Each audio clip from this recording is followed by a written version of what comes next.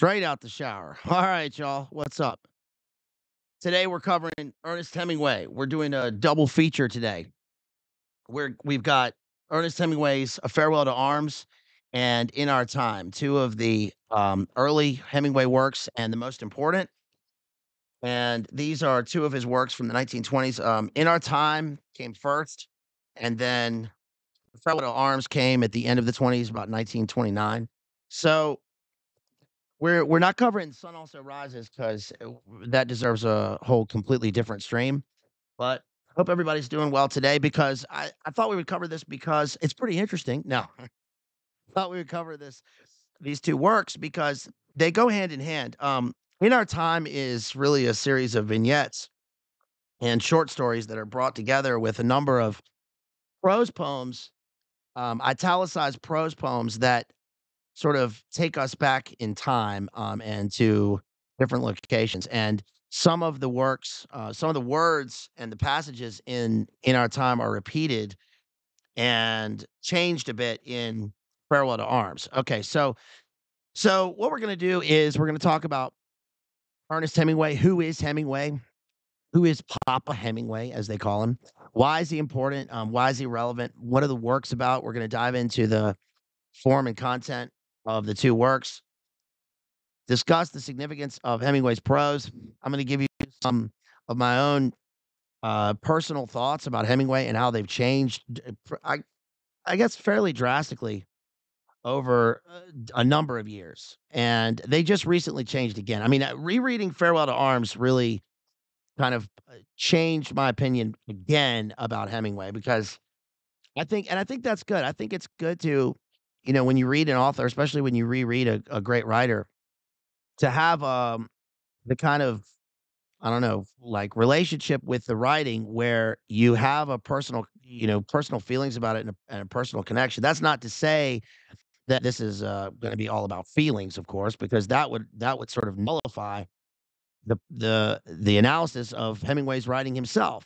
And we're I'm going to kind of dispel some of the things that we know or that we think we know about about Ernest Hemingway and what he represents and his his literature and about his the kind of I don't know popular appeal about him um, because I think it's a he's a complex writer and he deserves um, his writing deserves to be looked at in terms of at least you know our small little corner here um, our our small corner on the internet. So I thought I would dive into it also because we've covered again we've covered a, a, a wide range. We've covered you know like 104 we've done 114 here in less than a year on um, all sorts of literature throughout the canon. And so there comes a time when you have to we've done a number of modern works. There comes a time when you have to cover someone like Hemingway because he's important in terms of in terms of the Western canon. And so it's important to you know, it's just it's sort of integral to understanding not only modernity and modernism, but why writing is the way that it is now. Remember that the novel itself was is a is a fairly new invention in terms of uh, a, a medium in literature, because for most of literature we have epic poems, and then we and then we have lyric poems. We have narrative eh, versus lyric poems, and then it's not until really the 1700s when we get the first novels. We get Henry Fielding and then Daniel Defoe. We've covered J.M. Coetzee's Foe, um, which is a take on Daniel on Daniel Defoe's Robinson Crusoe. Um, and then, of course, people like Charles Dickens really made the the novel popular because it's easy to read. That fits into the the Dickens is important because he fits into the way that the the Anglo world proliferates in terms of colonization in the 19th century. So there are so these people are everywhere and thus goes their culture. And then that the writing then starts to affect the way that people live their lives. And Dickens, of course, published in serialized form, and they tried to publish Hemingway in serialized form, but he was kind of against it. The novel works as a whole. Now, I'm also going to look at some analysis and um, Harold Bloom, of course, can't you know can't go through this without talking about Harold Bloom because Harold Bloom has um, some of the most significant takes, especially on American literature. And he says that Hemingway is always comparing himself to Huck Finn um, his work to Huck Finn, you know, himself not really himself to Mark Twain, but his work is compared you know, he compares his own work to Huck Finn, at least in spirit. Um, and what that means is basically that Huck Finn is the the great American novel. Huck Finn, Moby Dick, we've covered uh, Moby Dick. Scarlet Letter and the sort of mid-19th century American works that really put American literature on the map, you know, again, starting with Washington Irving and short stories, but then going into the 19th century, uh, mid-19th century with novels, and then Hemingway sort of inherits that spirit. But his work is actually closer to the pro the the sort of not prose poems, but the long epic verse of Walt Whitman, um, if anything.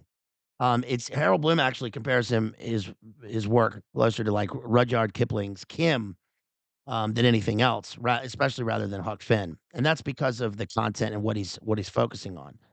But we're going to see with Farewell to Arms that the novel is so eh, I say revolutionary, i- i- revolutionary in terms of its writing style.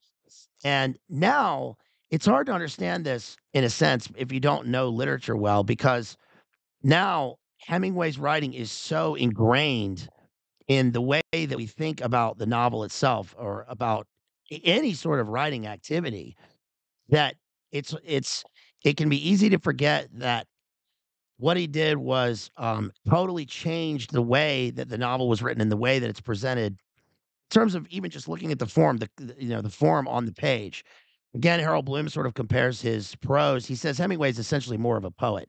I, you know, I sort of take exception to that, but I understand what he's saying, um, and I think it's a valid opinion in terms of the importance of the the the way that Hemingway constructs his novels is much more like I guess the analogy would be like you imagine a sculptor. This fits well because Ezra Pound and Gaudier Brzeska, um, and the modern the modern beginnings of the modern era. The point was to revolutionize writing so that it wasn't just you know the long descriptions of everything that run on in the page, and that was fine for for when it happened. You know, we get we get Dickens um, where we have pages and pages of descriptions. We've gone through Hawthorne, we've gone through Emerson, Emerson, we've gone through Poe, and those are all great. Um, but what Hemingway does is he sort of takes the block of marble that is the English language and then and and writes his novel and then chisels it away so that we only have the best words in the best order, as Coleridge said. So I think that that's that's interesting. Now, now Hemingway is also accessible. Um, the reason he's so great is because he's also accessible to the average reader. He's a, you know, he's at the same time as he's a, you know, a craftsman and a wordsmith. He's also a, um, he's also a an adventure writer. He writes about manly things. He writes about war, and like I've said from the very beginning, like I think it's important to draw a clear distinction between the life of the writer and his autobiography and the way that the characters appear in the works because once the writer puts the pen to the page um they are creating a character and and obviously they're going to use their own lives to inform what they do but Hemingway's work is autobiographical, and it's it's not really important to we could know nothing about Hemingway, and the work still stands, is what I'm trying to say. Um, just like with with Shakespeare or any great writer, it's the work on the page that matters. It's not the you know discussion about it. Even it's interesting that I say that, that I use the term life because like Henry Luce and Life magazine, they're all about like sort of creating this mythology of Hemingway. And that's cool. I mean, that's that's that's fine in terms of like if you're interested. But when you're trying to go deeper and do a kind of a deep analysis or explication of the work, it's important to draw a distinction between that and to understand that the symbolism um, in the book, or or rather the worldview that he's espousing in in each work, is something that is relevant now and that captures the human condition. And so one thing that one reason that I have a, a a problem with Hemingway is that I find his uh, I guess this is kind of surface level, but I find his sort of nihilistic spirit, I guess it's kind of ironic to use the term spirit in that sense, but his sort of his his esprit de nihilism in his works off-putting. Um, of course, because but but but like I've said from the beginning, um, all works of art, especially literature, are really about 2 things. This is my opinion, um, so people can disagree, but but they're about 2 things. One is, um, our relationship the most important is our relationship with God, meaning, like, who are we? Why are why are we here? What are we doing? And that comes out in in all works. And then the second is our relationship with each other.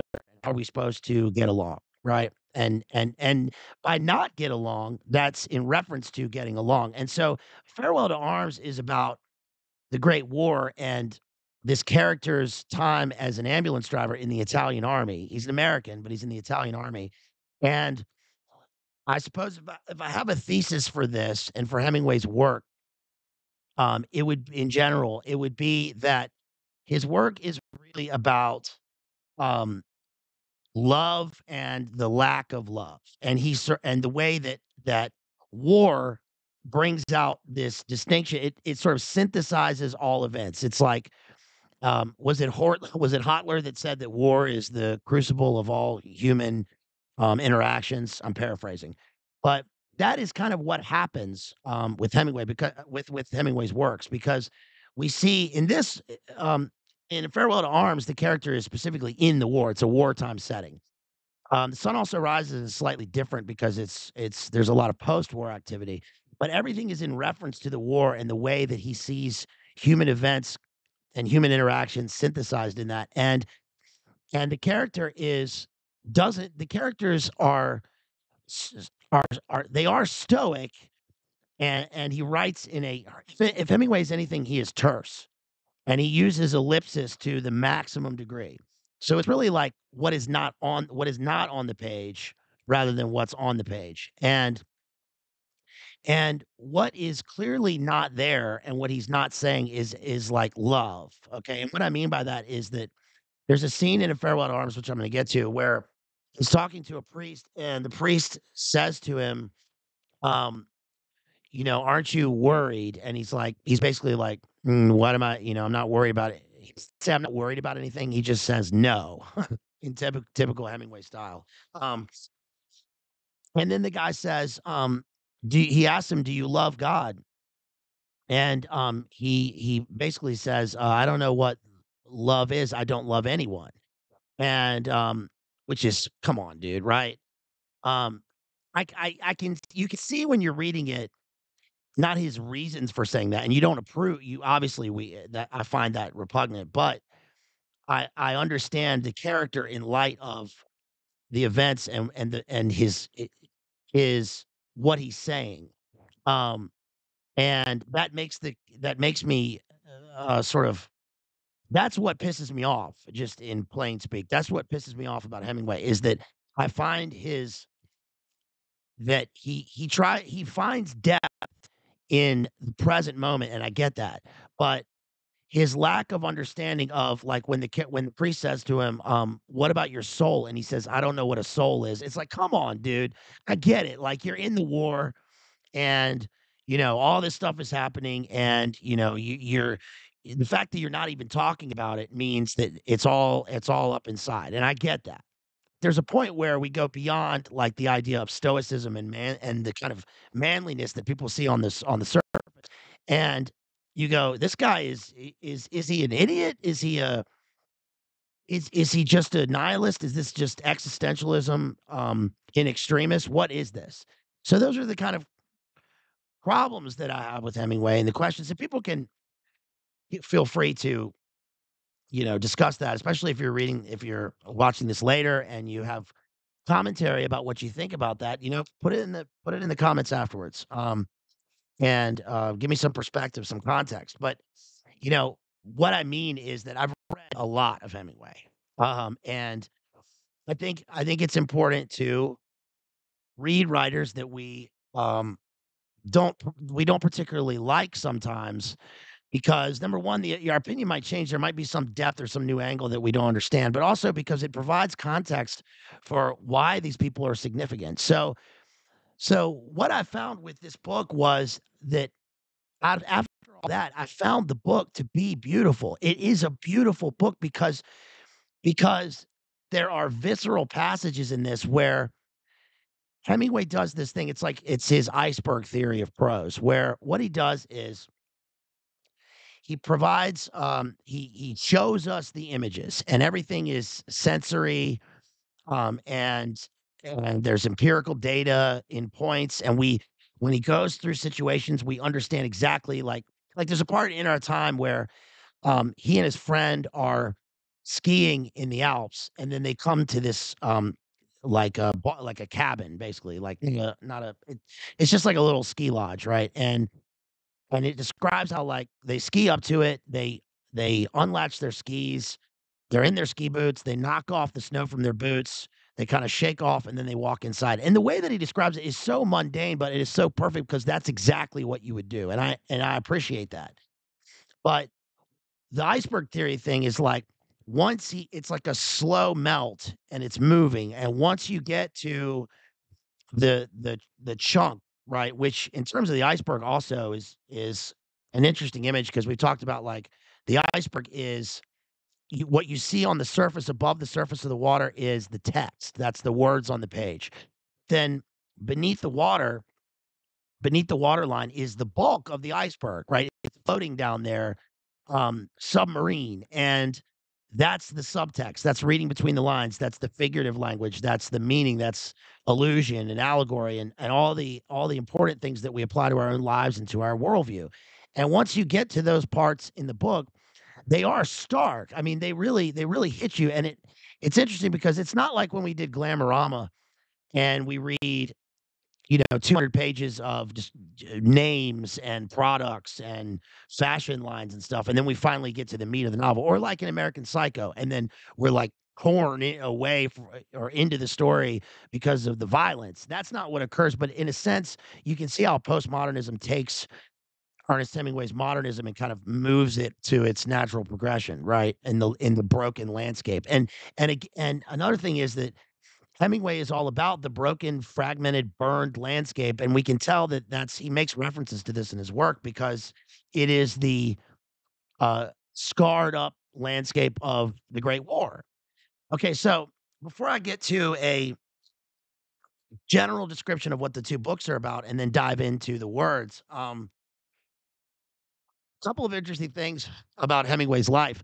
So so again, I'm going to give kind of a biography because I think people find this interesting. And again, it's not necessary, but it is it is interesting and maybe provide some context. Um, so Hemingway was born in 1899. He's the uh, generation of 99.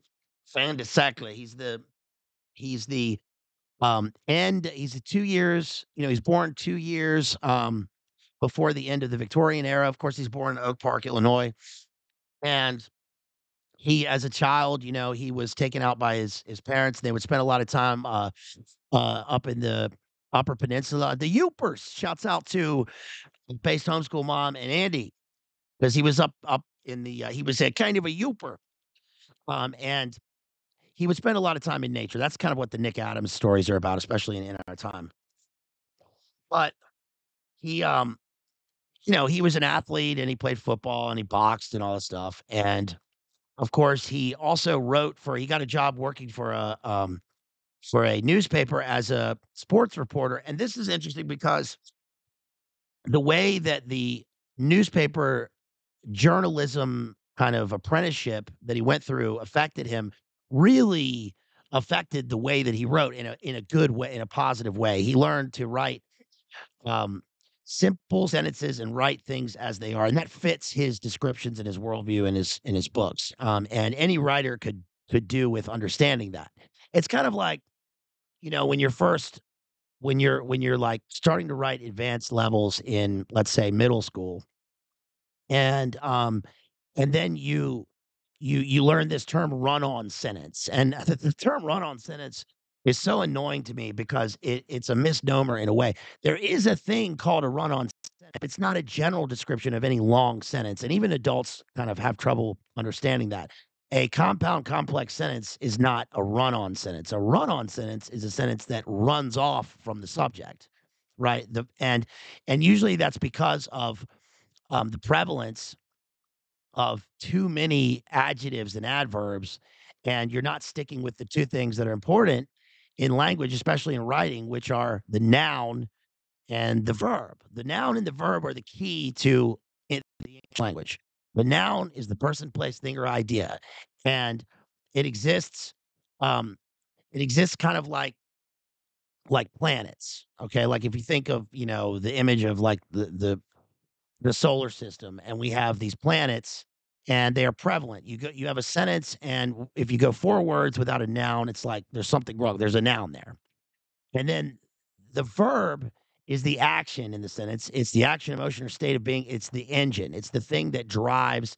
It's like Dylan Thomas said, the force that through the green fuse drives the flower. So all the planets are revolving around the verb, but the verb is the most important part of speech because it's it is it's the engine, it's the motion, it's the muscle in the sentence. Okay. And one thing Hemingway does is he writes so many adverbs, and we know that he's doing that purposefully. He's a great craftsman in terms of language, but but when he says something is very nice, I've, I've mentioned before how I hate I, I hate very because if something is nice, it's already very nice. If something's beautiful, it's already very beautiful. The word beautiful has the inherent beauty within the word, so we don't need a very.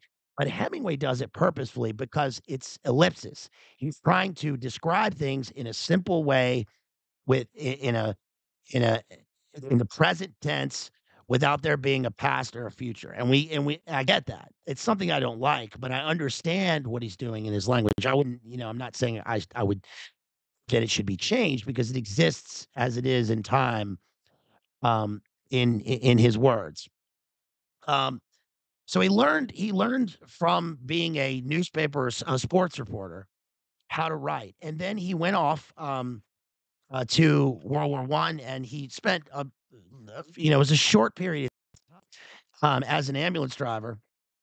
But that's what a Farewell to Arms is about, and, and I'm going to get into what that, what really the book is about, and what happens in the book after this. But um, he uh, then went to Paris, and he uh, happened to like go to this nexus point where all of these great artists were living, and this is you can see this happening in the sense that the war happens and we have all these people in Europe and it's after the war and then they gravitate to to Paris and they all happen to meet each other because they're all expatriates, right? Um, and and the key group is like Gertrude Stein. Gertrude Stein is the one who she also helped Hemingway with how to write. She said, "A rose is a rose is a rose," meaning you don't have to describe the rose in terms of what it, you know, it's d- d- have a description about it you can just have the image itself as a rose. Um, Gertrude Stein, John Dos Passos, uh, Ford Madox Ford, um, James Joyce, of course, T.S. Eliot, Ezra Pound, uh, William Carlos Williams was there for a time, and um, and so a couple of interesting things that happened out of that. Uh, Really, my favorite Hemingway book, if if you like ever had to read one Hemingway book, the books that you probably read when you were younger, like The Old Man and the Sea. I mean, you know, they gave. I've read the I've read The Old Man and the Sea probably I don't know, 49 times. Okay. And not because it's my favorite book. Um, in fact, it's it's whatever. But but um,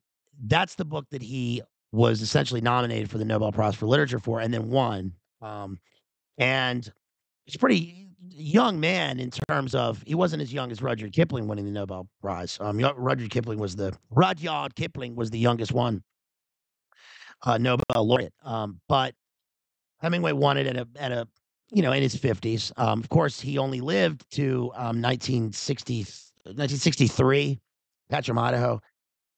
And um, so anyway, he was in Paris, and um, all that stuff happened. And um, one one thing that is a couple of cool things that came out of that were that Hemingway met up with Ezra Pound. Ezra Pound is kind of the kingmaker of these literary figures because Ezra I love Ezra Pound's literature for itself. I mean, I think that his verse is superior to many of the other writers at the time. I mean, no, no one remembers Edward Arlington Robinson or you know any of these people. Um, of course, we remember T.S. Eliot, but Ezra Pound is the one who edited T.S. Eliot. He showed him how to write.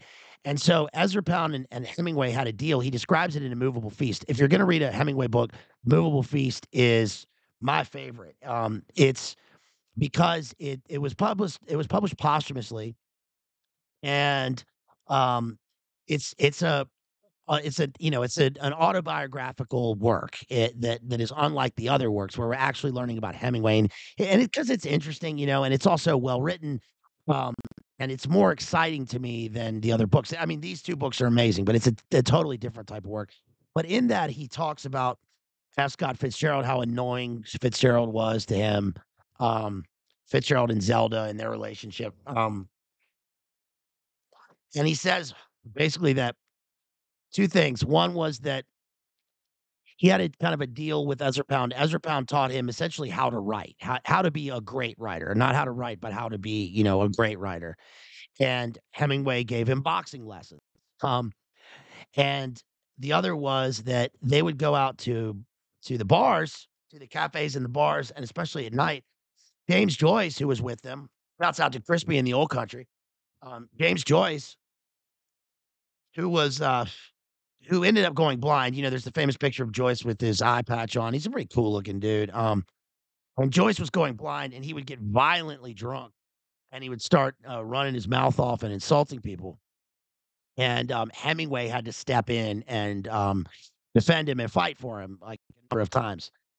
Um, one of the things that I was reading about recently was I'd forgotten about this was that Hemingway Hemingway um, actually got in a fight, a full on fist fight with the poet Wallace Stevens uh, in Key West, and this is pretty cool. Now you don't really need to know who Wallace Stevens is to to think this is interesting, but I'll I'll just I'll tell you anyway.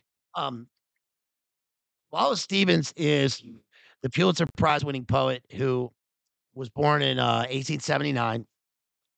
Um, and he um, he was interesting because he he's kinda like T.S. Eliot in the sense that they you know, these guys lived around the same time, and Wallace Stevens was, uh, an executive for a big insurance company, corporation in in Connecticut, and then he was down on holiday in Florida, a lot of time in Florida, and and, you know, Hemingway lived in Key West, and while Stevens was down there, they were both down there at the same time.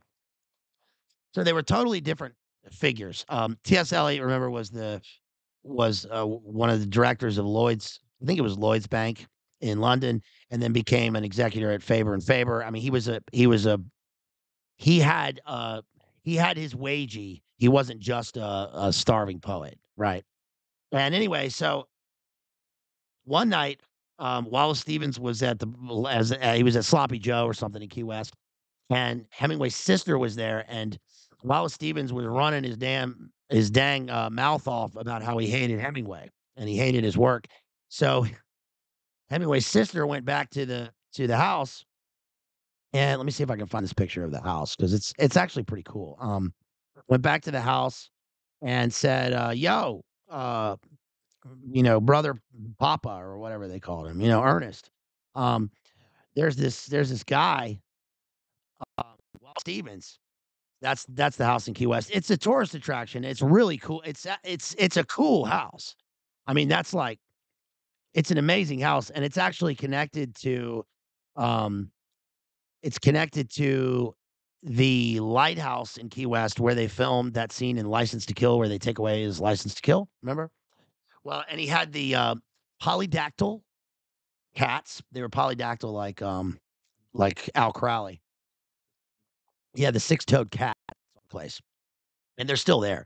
Anyway, so um so she went back and she was like, "Yo, there's this there's this uh there's this fool running his mouth off uh, over at Sloppy Joe. You ought to do something about it." And she didn't need to say that because he immediately, like, you know, bam, stormed out of the house, went to Sloppy Joe, kicked it, you know, he's about to kick in the door, and out comes Wallace Stevens, um, drunk. And Wallace Stevens started running. I'm kind of paraphrasing what happened here, but Wallace Stevens Wallace Stevens started running his mouth off, and um, and Ernest Hemingway Ernest Hemingway uh, knocked him on his ass, and then I mean he really he gave him a he gave him a whooping. He whooped his ass, and Wallace Stevens, they were quick to point out, like in the in the newspapers and stuff, that oh Wallace Stevens, not fair because Wallace Stevens was you know 20 years older. I mean he was in his 50s though. He was like 57 and Hemingway was 37. That's fine. And Stevens was like this big old fella. And Hemingway, when Hemingway was writing about it, he said, "Look, I'll, I'm quick. I'll, I'm, I I'm not gonna neglect the fact that this dude is, uh, you know, 6 foot 2, 500 pounds, he says. And anyway, Wallace Stevens punched Hemingway in the jaw and broke his fist on Hemingway's jaw. And then got knocked into a puddle. Anyway, that's the Wallace Ste a fight between writers. And it's pretty funny because the way that Hemingway writes in his letters to his publisher, Charles Scribner, is a lot like how um, is a lot like how, you know, the fellas talk. Um, and it's interesting because he's talking to his publisher, but for instance for instance, it'll be something like, you know, "Did you see that episode of Geraldo?" And Hemingway's like, "Geraldo sucks. I wanna fight that I wanna fight that fucker for charity," right? He says that about a lot of people. He was pretty cantanker cantankerous. Um, but anyway, it's pretty interesting. Well, anyway, Hemingway, um, also some other things about him, um, so he was in you know, he he was in World War One as it was happening, however brief, he was there. He was also a correspondent during the Spanish Civil War. He was also most people don't know this, he was present at the Normandy invasion at D-Day. He was there. He was a reporter. So he would have been you know, in his 40s, but he was there. Um, he also when he was in when yeah, Jerry. When he was in Kenya that's right, I say Kenya. Um, when he was in Kenya, um, he was in a he got he was, you know, he was hunting he was hunting, and then he got in a in a plane to go fly off somewhere, and he was in a plane crash. And then within 24 hours, he survived, and then he got in another plane, and then that plane crashed. He was in 2 he survived 2 plane crashes in 24 hours, which is wild, right? He also I mean, he had his face clawed by bear, um, but he all kinds of shit, right? Excuse my language, folks.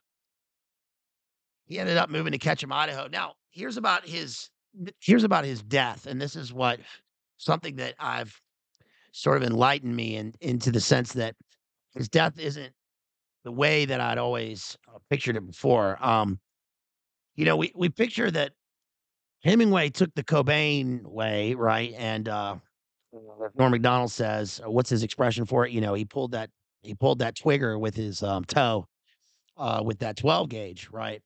And he was like 64, 63 or 64. And we think of this as a as a people tend to think of this as a simplistic sort of bookend to his worldview, okay? Meaning that, you know, thi this is one of the things that really is prevalent in terms of, like, getting into the the latter part of the '60s and then moving all the way to now, which is that, you know, real men cry, um, you know, and they don't stuff their feelings way down because they'll end up like Hemingwell Hemingway. Well, that's not what happened. Um, Hemingway, as I just mentioned, was in a war. He witnessed another war. Um, he, uh, witnessed all kinds of things, and he had this family history or whatever. And because of this and his his drinking, um, he finally, like, somehow got in contact with May with the mm, well, let's just say, a certain clinic, okay? And he went there and basically said, like, "Look, what's what's happening?" And they immediately gave him electroshock and wiped his mind. And so, right after that, he had no access to his memories, and he had no creativity left, and so that's what happened. Now, um, I'm not gonna say, like, uh, my opinions on that too much other than to say that, like, at the very least, that is not that is not the way that I'd always thought about Hemingway or the way that I think most people think about him. Uh, just digging a little bit deeper and you see that there was something else, and, you know he was you know, he was already getting older, but but that that ruined him. Um, and so that's what ended up happening. Um, now he he, of course, has a th that way out, uh, i you know, sucks, and that, um, like, has been prevalent with his with his family. Um, but I just think it puts things in perspective. I don't know I don't know really what to think about that, um, much besides I mean, I do, but I I'm not really gonna say. Um, but I think that that sucks. And also, it also sucks that hey, what's up, Rachel? Rachel Rachel came in because she heard me talking about the Yoopers. Um So, I it sucks that, you know, hopefully hopefully by the end, Hemingway found some you know, found his way into, um you know, uh, understand I guess, seeking salvation, right? And understanding he he I mean, this guy needed some grace, okay? And it was there for him. So hopefully he hopefully he, um, found it. Um, but let's dive into his, uh these 2 works that I, uh, tore through. In Our Time is pretty easy, you know, it's an easy read. I read this, um, my I read it April of 2000, so it must have been I was in a in my 1st year of college, I was in some, you know, a literature class, and then I'd never read A Farewell to Arms. I read I've read, um, A Moveable Feast and The Sun Also Rises and the Nick Adams stories and all the you know, all that stuff. But, um, I just decided to go back to these 2 works because they're in the '20s and they're really what made Hemingway famous, um, and established an a modern a modernist movement for especially for American prose writers. So, um, before I dive into those, you guys, please smash that like, share the stream. We got a lot of stuff coming up. We've got um, the next one I'm gonna do after this, the next work of literature, and I I call this literature because it is. This is a great book, is and we're doing this for our homeboy out there, John Connor, the real John Connor, shouts out to him, um, for his support. Uh, we're gonna do, um, Norm Macdonald's Based on a True Story, not a memoir. So we're gonna cover this one next. Um, and we've also got a bunch of works coming up, uh, a bunch of books on the way. Um, Titus Andronicus by Shakespeare. We're gonna cover the Titus movie starring, um, Anthony Hopkins. What else? Um, we're gonna be doing a I might as well just say it, we're gonna be doing, um, that Seagal stream, that Stefan Seagal stream that we talked about a long time ago. We're finally getting to that. So I've got the Seagal book on the way, and we're gonna cover, like, Out for Justice, Hard to Kill, Marked for Death, Above the Law. Above the Law is great because there's a line in it where he says, "You know, some people think they're above the law. Well, guess what? You aren't." Right. You can take that to the bank. Um Yo, anybody seen Richie? Anybody seen Richie? What about you, Bobby Lupo? So we're gonna cover Seagal. I'm Gonna do a Seagal super stream. And, uh, coming up next week, of course, we've got our homeboy, Chase Haggard. He's gonna join us, and we're gonna cover I put it up on the community tab. We're gonna the community tab, we're gonna cover, um, tortured artists, the the the theme and the tropes of the tortured artist. So we're gonna cover Damien Chazelle's Whiplash, Darren Aronofsky's Black Swan, and Iñárritu's Birdman. Put some respect on my name. So that's gonna be fun. Um, we also have I'm gonna be doing Cari Mora, which is the Thomas Harris novel. Um, and let's see, I've gotta get to, um, the Iliad. I'm gonna do Homer's Iliad. I'll probably end up doing Virgil's Aeneid, um, later on. Um, gotta do Truman Capote's In Cold Blood. We've gotta do I mean, we got I'm gonna do The Mosquito Coast, Paul Theroux. Um, let's see, High Wind to Jamaica. That'll be that'll be not soon, but it will be in the future. Also, our Wes Anderson stream. So we're gonna be doing a lot of stuff. Uh, so that takes a lot of reading. So that takes a lot of reading, it takes money to get those books. So if you wanna support me, I would really appreciate it if you got if you supported me, um, directly through the links, Cash App, PayPal, Venmo, etc. or you can drop a super chat. That'll get to me after a while, but I appreciate that. You can also go back and watch the previous couple of, um, streams that we just did. We did Ender's Game with our homeboy, Andy BPF from The Crucible. We did, um yeah, we've done so many, I don't even remember what we've done. We we did, uh, the Monarch stream on Glamorama. We've done a bunch. So please go back and and watch our streams. We just did, um, The Yage Letters with, uh Jerry showed up. We got The Yage Letters by William Burroughs. And, um, so, you know, please help me out, because I could really use it. So, that being said, um Oh, the we've gotta do The Keep, also the Michael Mann film. We gotta do The Crossing by Cormac McCarthy. There's just there's a lot. It never it never stops. We're gonna keep grinding.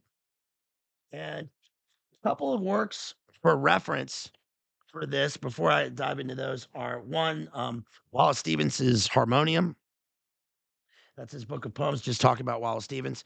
And, of course, we've done an Ezra Pound stream, but, um, we've got Ezra Pound selected poems, selected cantos, this is a great biography of of um, Ezra Pound, The Last Rower by C. David Heyman. It's a great book on Ezra Pound. Um, this work, which is I read all the time, I still read all the time. It's one of my favorite books because because it's it's just it's a beautiful book, and that's Ezra Pound's Personae. And then, um, and and one thing about that book is I'll never forget my first year of college.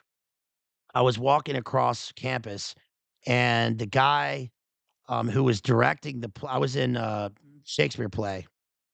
I was playing Benedick in in Much Ado About Nothing, and um, the director came up to me and he said he said, "What you reading there?" And I said, uh, and I had Ezra Pound's Persona in my hand, and he said, "Did you know that persona means mask? Think about that."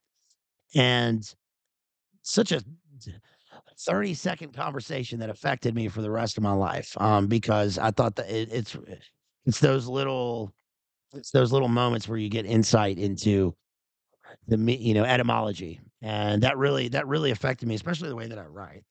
Um, and then we've got the our friend Baginski says, I seem to be kind of sad today. No, I ain't sad. Um, maybe it's the work. Maybe it's maybe it's the looming work and it affected me more than I think. Um, but yeah, I'm all right. Hope everybody's all right out there. It's it is February. So it is, you know, we are in the depths of winter. Maybe somebody's watching this in the summertime and and you know, 6 months from now and it's a bright sunny day outside. I hope it is. And then they can see some contrast. But um but um you know, it's it, it's a dark time. Dark time for our, our some of our friends and for our family. It's been a tough year. But you know what? We got to keep on rolling. You got to keep on living, y'all. L I V I N. Um, yeah, again, it's literary essays of Ezra Pound. If you are a writer or a poet or you want to understand literature, art, and culture, you know, I can't think of anybody better to start with in terms of writing, and especially modern writing, than Ezra Pound and his essays. Very important. Um, and then I've got um, let's see, T.S. Eliot's Wasteland and his selected poems here. And then I've got this uh, Harold Bloom, a bunch of Harold Bloom essays on Hemingway. Okay, so let's dive into a farewell to arms. What is it about? Um, there's one particular passage in this that really affected me. Yes, um, and I think that that's good. I think that's a good thing to to have a again a, like a personal connection to what you're reading, Uh, or else why not? Why read, right? So, farewell to arms is about this guy, um, and he is an ambulance driver in Italy in World War One.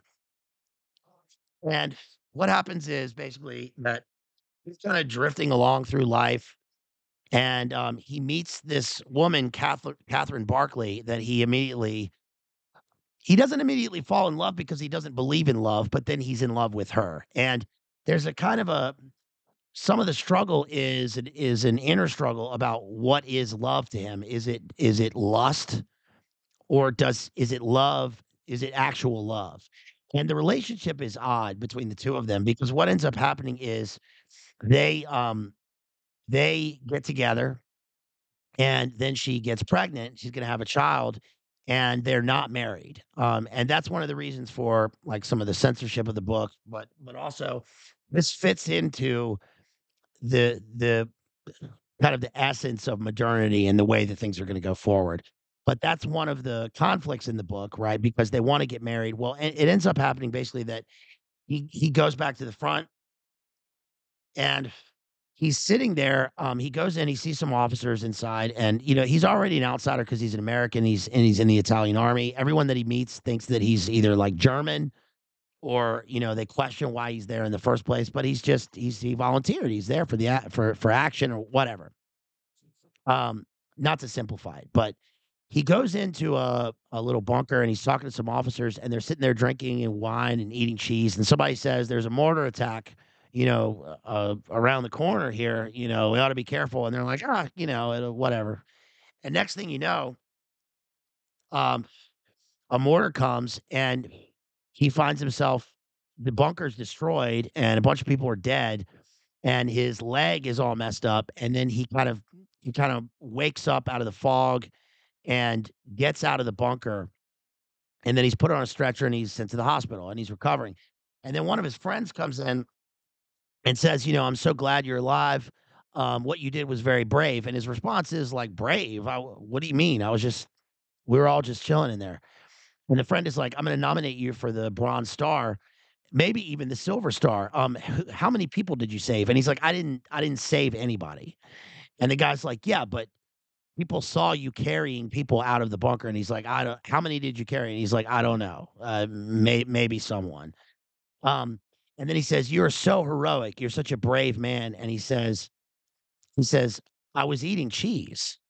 And that's brilliant because the book is funny. It's a, it's a funny book because this is one of the works that you know. Remember when we covered All Quiet on the Western Front, where there's this there's this like juxtaposition between the way that the the young dudes who are signing up for the war think that the war is going to be. They think it's going to be one way, and then it ends up being uh, something completely different. They think, like in All Quiet on the, on the Western Front, they think it's going to be they're going to be cavalry charges and they're going to have sabers and they're going to be in the you know it's it's like they're in the Continental Army again or something like thinking back to Napoleon in France or like in the you know in the War of Northern Aggression, right? And that they're going to be um riding off into glorious battle. And what ends up happening is that you get destroyed eating cheese on your time off. And so that affects the way that he thinks um, about the world. And he sees Catherine. He wants to he wants to be with her. Um, he recovers. His you know he, his knee is all messed up. He gets plates in it and all this stuff, and he recovers. And then he goes off again, and this time he deserts um, from the Italian army. Now it's it's weird because he's deserting, but it's not even his army, right? I wasn't even in their fucking army anymore. Remember Willard in uh, Apocalypse Now? And then what happens is he's escaping through the countryside, and um, at one point, um, he sees some some some dudes that are about to loot a house, and he tells them, "Go back inside and return that shit." And they do it. And then at another point, there's two guys that are running off, and he thinks that they're going to get caught um, because these guys are run. They're they're running away also, which is the irony, is that they're running away from the running away, and um, they shoot him. And the main character, Henry, he shoots this guy, and the other guy goes over and does the coup de grace. And like the way that he there's a there's a Chekhov's gun that appears early in the book, and then later he goes, he finds that the, they make all the ambulance guys like carry a gun, but the gun is worthless. You can't hit anything with it. So then he goes and buys another one, and then at this point it's used, right? And he has like he doesn't seem to have any feelings about it, but his feelings are all interior through the prose. We can we can get that. Then he um, makes his way to a train. He hops a train. He he- and he makes his way through the countryside. Um, this occurs in In Our Time also. He gets beaten up by by guy on a train. Um, and um, then they get captured by these Italian officers, and the Italian officers are interrogating everybody, and they're they're shooting them. And um, one of the things he says is that like they take this Italian colonel who I guess just happens to be there, and they say, um, "You're a German. We know you're a German." And the and the colonel says, "Look, if you're gonna if you're gonna do it, just do it. I'm tired of the stupid questions." So they take him off and they shoot him by the river. And so Hemingway, kno- I mean not Hemingway, the character in this um, Henry knows that they're gonna they're gonna die. So he like kind of punches his way through the guys and runs down and he jumps in the river and he escapes in the river. And this is a kind of a baptismal scene because when he emerges from the river, like he's a he knows that he has to survive and he has to get back to Catherine. Um, and he makes his way back. Um, with Catherine, they escape from Italy. They they cross the frontier. They make their way to uh, Switzerland. They got to get to Switzerland. They make their way in a in a small boat um, they end up in Switzerland. They get arrested. They know they're going to get arrested, but they they get arrested um, and ask for their papers. They have papers. They he has his passport, and um, she makes she's she's like useful because she helps to make up the quick lies about where they've been. because the Swiss are like, "Where have you been? There's a war right over there. Are you coming from the war?" And she's like, "No, we're we're boating enthusiasts. We love to get in the boat." And they're like, "Where are your fishing rods?" And she's like, "Well, we came here for sport, um, and we're hoping to go to Montreux. Um, we want to go. We want to go skiing." And they're like, and then later Henry's like, well, "How'd you think of Montreux?" And she's like, "Well, it was the first person, first place I thought of." Um, and they're like, "Don't go to Montreux. You need to go to this other place." And then they get into talk about sport, and uh, and so they're successful. And then they end up in this, um, you know, mountain lodge. And then later, um, she her pregnancy her pregnancy takes forever because the book is like over a short period of time, but it seems so long because of the amount of detail. And then finally, she's about to get uh, to to deliver birth.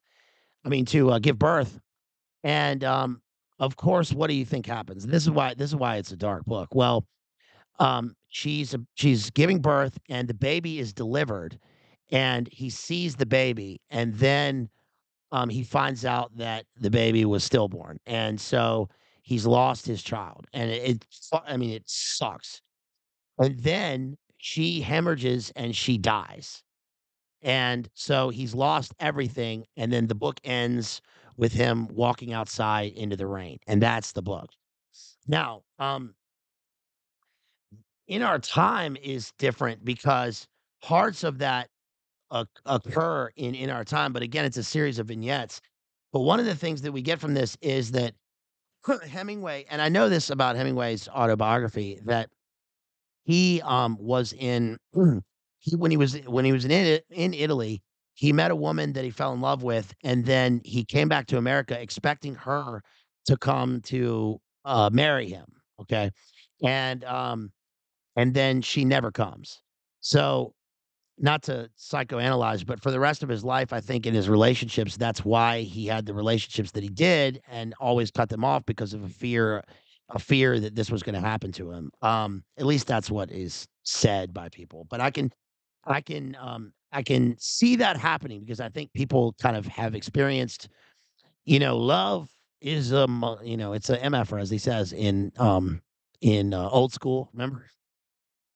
Um, and but what I'm saying is that that affects him, um, for the rest of his life, and that the character in this is broken in a way that he ends up in what he calls, he says, the the um, broken places in life, and that's a particularly um, significant passage that I'm going to get to because it's it's pretty dark. So, um, let's see. Let's let's start off again. The book was published as a Farewell to Arms. It's published in 1929, and um, Uh, chapter one, I wrote brief chapter with Anne's mimicking the voice of the child speaker. So he clearly got this uh, from either directly from James Joyce. I mean, as a a writer, I guess I can see the in the outside influence, and not to be wanky about it, but I can see the out, outside influence in terms of the revision of his work. I think it's brilliant. But leaving that aside, what he does here is brilliant because he's speaking in the voice in the voice of the child. And he says, In the late summer of that year, we lived in a house in a village that looked across the river and the plains to the mountains. In the bed of the river, lots of prepositions and prepositional phrases. In the bed of the river, there were pebbles and boulders, dry and white in the sun, and the water was clear and swiftly moving and blue in the channels.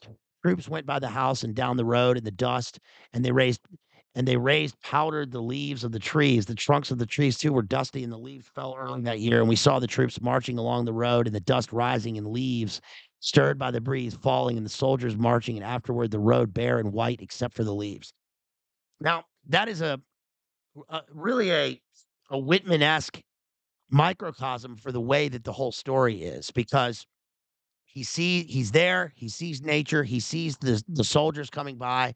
The war is like in fits and starts, and then it leaves it leaves, pun, leaves, he and he sees the leaves and nature, you know, uh, leaf subsides to leave. Then nature turned to grief. Um um in chapter 2 I wrote um, adverbs and conjunctions match the child speaker, the description, matter of fact, uh, modernity. So, for instance, he says, The next year, there were many victories. The mountain that was beyond the valley and the hillside where the chestnut forest grew was captured, and there were victories beyond the plain on the plateau to the south. And we crossed the river in August and lived in a house in Gorizia that had a fountain and many thick, shady trees and a walled garden and wisteria vine purple on the side of the house. Long sentence. But do you see how the the ands, the conjunctions are continuously kind of rolling out the landscape? And that's also the interior landscape of the speaker. So wisteria I don't know I don't know if they have that up north, y'all, but wisteria is an invasive vine that is quite beautiful when it blooms, but you gotta cut that back. You gotta get that back. Don't let it grow over the garage. It looks beautiful and it frames the garage, but that old that that stalk is is big. You gotta get the the the chainsaw out there. Now the fighting was in the next mountains beyond and was not a mile away. The town was very nice and our house was very fine. You hear the adverbs? The river ran behind us, and the town had been captured very handsomely, but the mountains beyond it could not be taken. And I was very glad the Austrians seemed to want to come back to the town sometime if the war should end, because they did not bombard it to destroy it, but only a little in a military way. Child, it's it's childlike. The the sentences are are long and fluid and with lots of adverbs, and we see the youth of the speaker, at least the youth, this sort of unspoiled youth at the beginning of the book. Um, Shouts out also to Toledo because a while back, I saw her mention something about, uh, Midnight in Paris, and that's one of the few, uh, Woodrow Allen movies that I like, um, because it's got Owen Wilson, yeah. Wow, I met Hemingway. And it's got Leah Seydoux Se Seydoux in it, Leah Seydoux Seydoux? Not Sea-Doo, that's a that's a, uh, Danny McBride jet ski. Um, Leah Seydoux, that you know, the French actress who is pretty fine. Um, but there's a scene where he meets he meets Hemingway in the bar, and the dude who plays Hemingway, he remember he was in House of Cards. Um, that that dude eh, like does a great Hemingway because he's like, I was on the front and it was very nice, and the, the land was scarred and I was sad, and the trees were blooming. I had a gun. Right? He's just he's he he he he's good at playing Hemingway, which is tough because there aren't Hemingway is one of those writers where they've made um a bunch of movies that you know adaptations of his books um in the movies and they never work well. They had the Gary Cooper one, they had the the Rock Hudson Farewell to Arms. Shouts out to uh, Claire out there, beautiful Claire, who um who brought up the the Rock Hudson um version of this book and they just never do them well. There was also there was let me see if I got a picture of it. There was also the um the Gellhorn movie. Here's here's Wallace Stevens, by the way. That's Hemingway and that's Wallace Stevens on the right. He's a big fella. Um and what was the Gellhorn movie about Hemingway with Clive Owen? It's cool that they got Clive Owen to, to play him. Here's Hemingway. Here's Papa Hemingway, right? Wholesome, wholesome. Um, and then here he is with his here he is with his BFF, right? Hanging out in Cuba. Um, Fidel was uh, liked Hemingway. He was a big fan of Hemingway. Here he is, um, hanging out with the fellas in, I guess he's probably in San Sebastian there, um, or he's in, I don't know where he is right there, but that's E- Elder Hemingway. Um, I don't think I have the picture here. There's a great, it's not a great, um, there's a movie with Clive Owen and um, uh, Creeper and Nicole Kidman, um, and it's not great, but it's interesting because they have uh, because Clive Owen plays Hemingway, and if anybody's going to play him, it's it's probably Clive. I like Clive Owen. Like I don't know if I've ever seen a Clive Owen movie that I didn't like. That dude's cool. He's a you know he's a dude, right? He's a I- he's in Children of Men. I mean, come on, right? Children of Men rules. It's a great movie. He was in Sin City. He's great in that because you don't even. It's like I don't even really think of him being in that because you got Mickey Rourke and Benicio, but Clive Owen's like the guy in that. Um, he's even good in that movie Duplicity, which is a pretty clever movie with uh, Paul Giamatti um, about big uh, far- big farms, let's say, and they have a cure for something, and it's so it's kind of corporate warfare. So that's pretty good. Um, yeah, Gary Cooper was, uh, as far as I know, Gary Cooper was was uh, pretty chattish, right? So he's pretty cool. Um, they did the Snows of Kilimanjaro with uh, Gregory Peck. Give me back my family. He's kind of a Gregory Peck is kind of a proto Harrison Ford. Like he's the same guy in a way. Um, but anyway, so they don't do really good movies versions of Hemingway. But Clive Owen was good at playing him for what the movie was. Um, so let's see. Let's move on um, to another section. He mentions on page eight, illuminate confirm. The the guys are the fellows are sitting around talking, and he says, it says, it's very valuable, says the lieutenant, the lieutenant. He tells you about the, those priests. You will like it. I smiled at the priest and he smiled back across the candlelight. Don't you read it? He said, I will get it for you, said the lieutenant. All th- then he says, the major says, all thinking men are atheists. Cringe.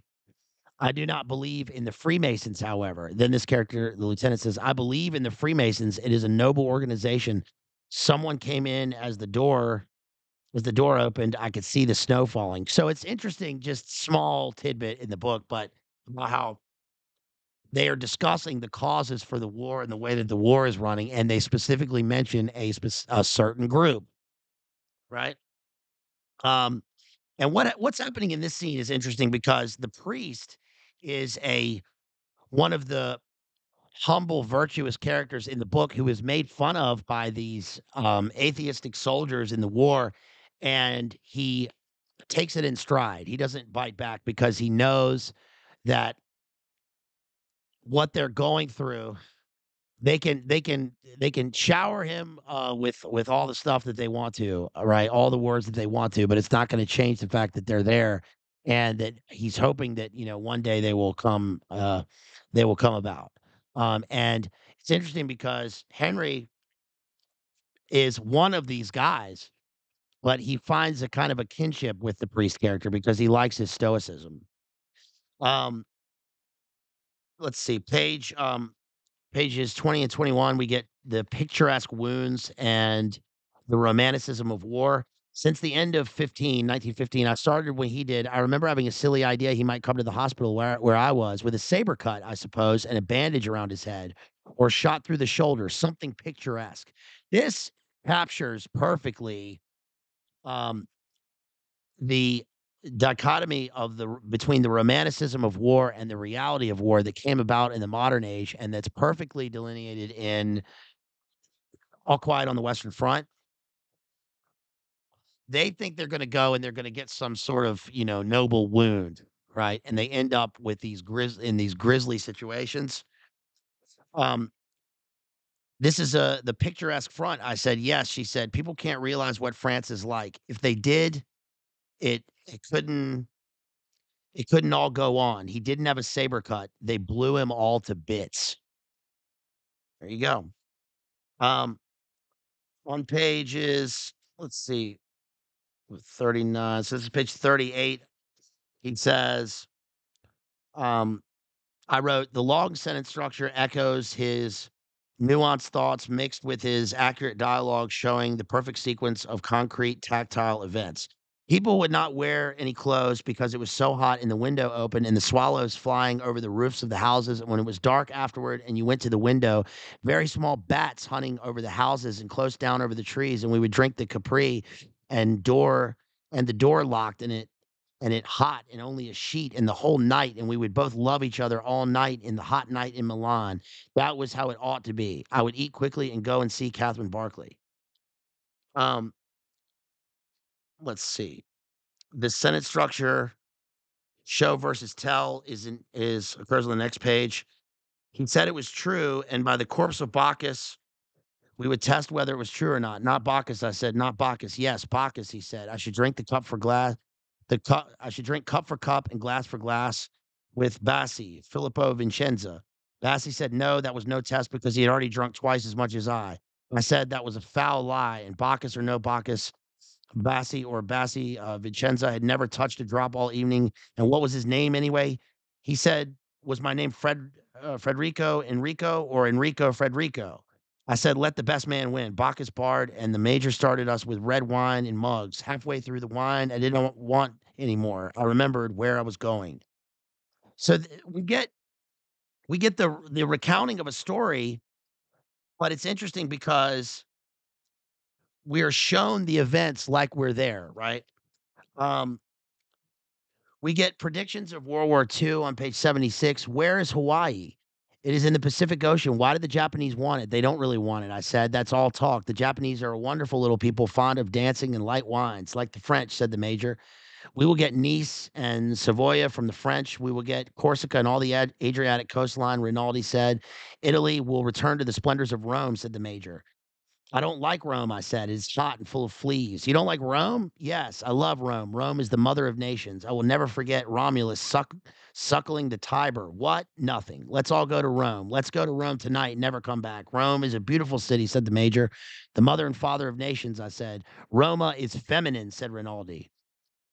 It cannot be the father. And then um let's see. Um page 77, I vomited into a gas mask.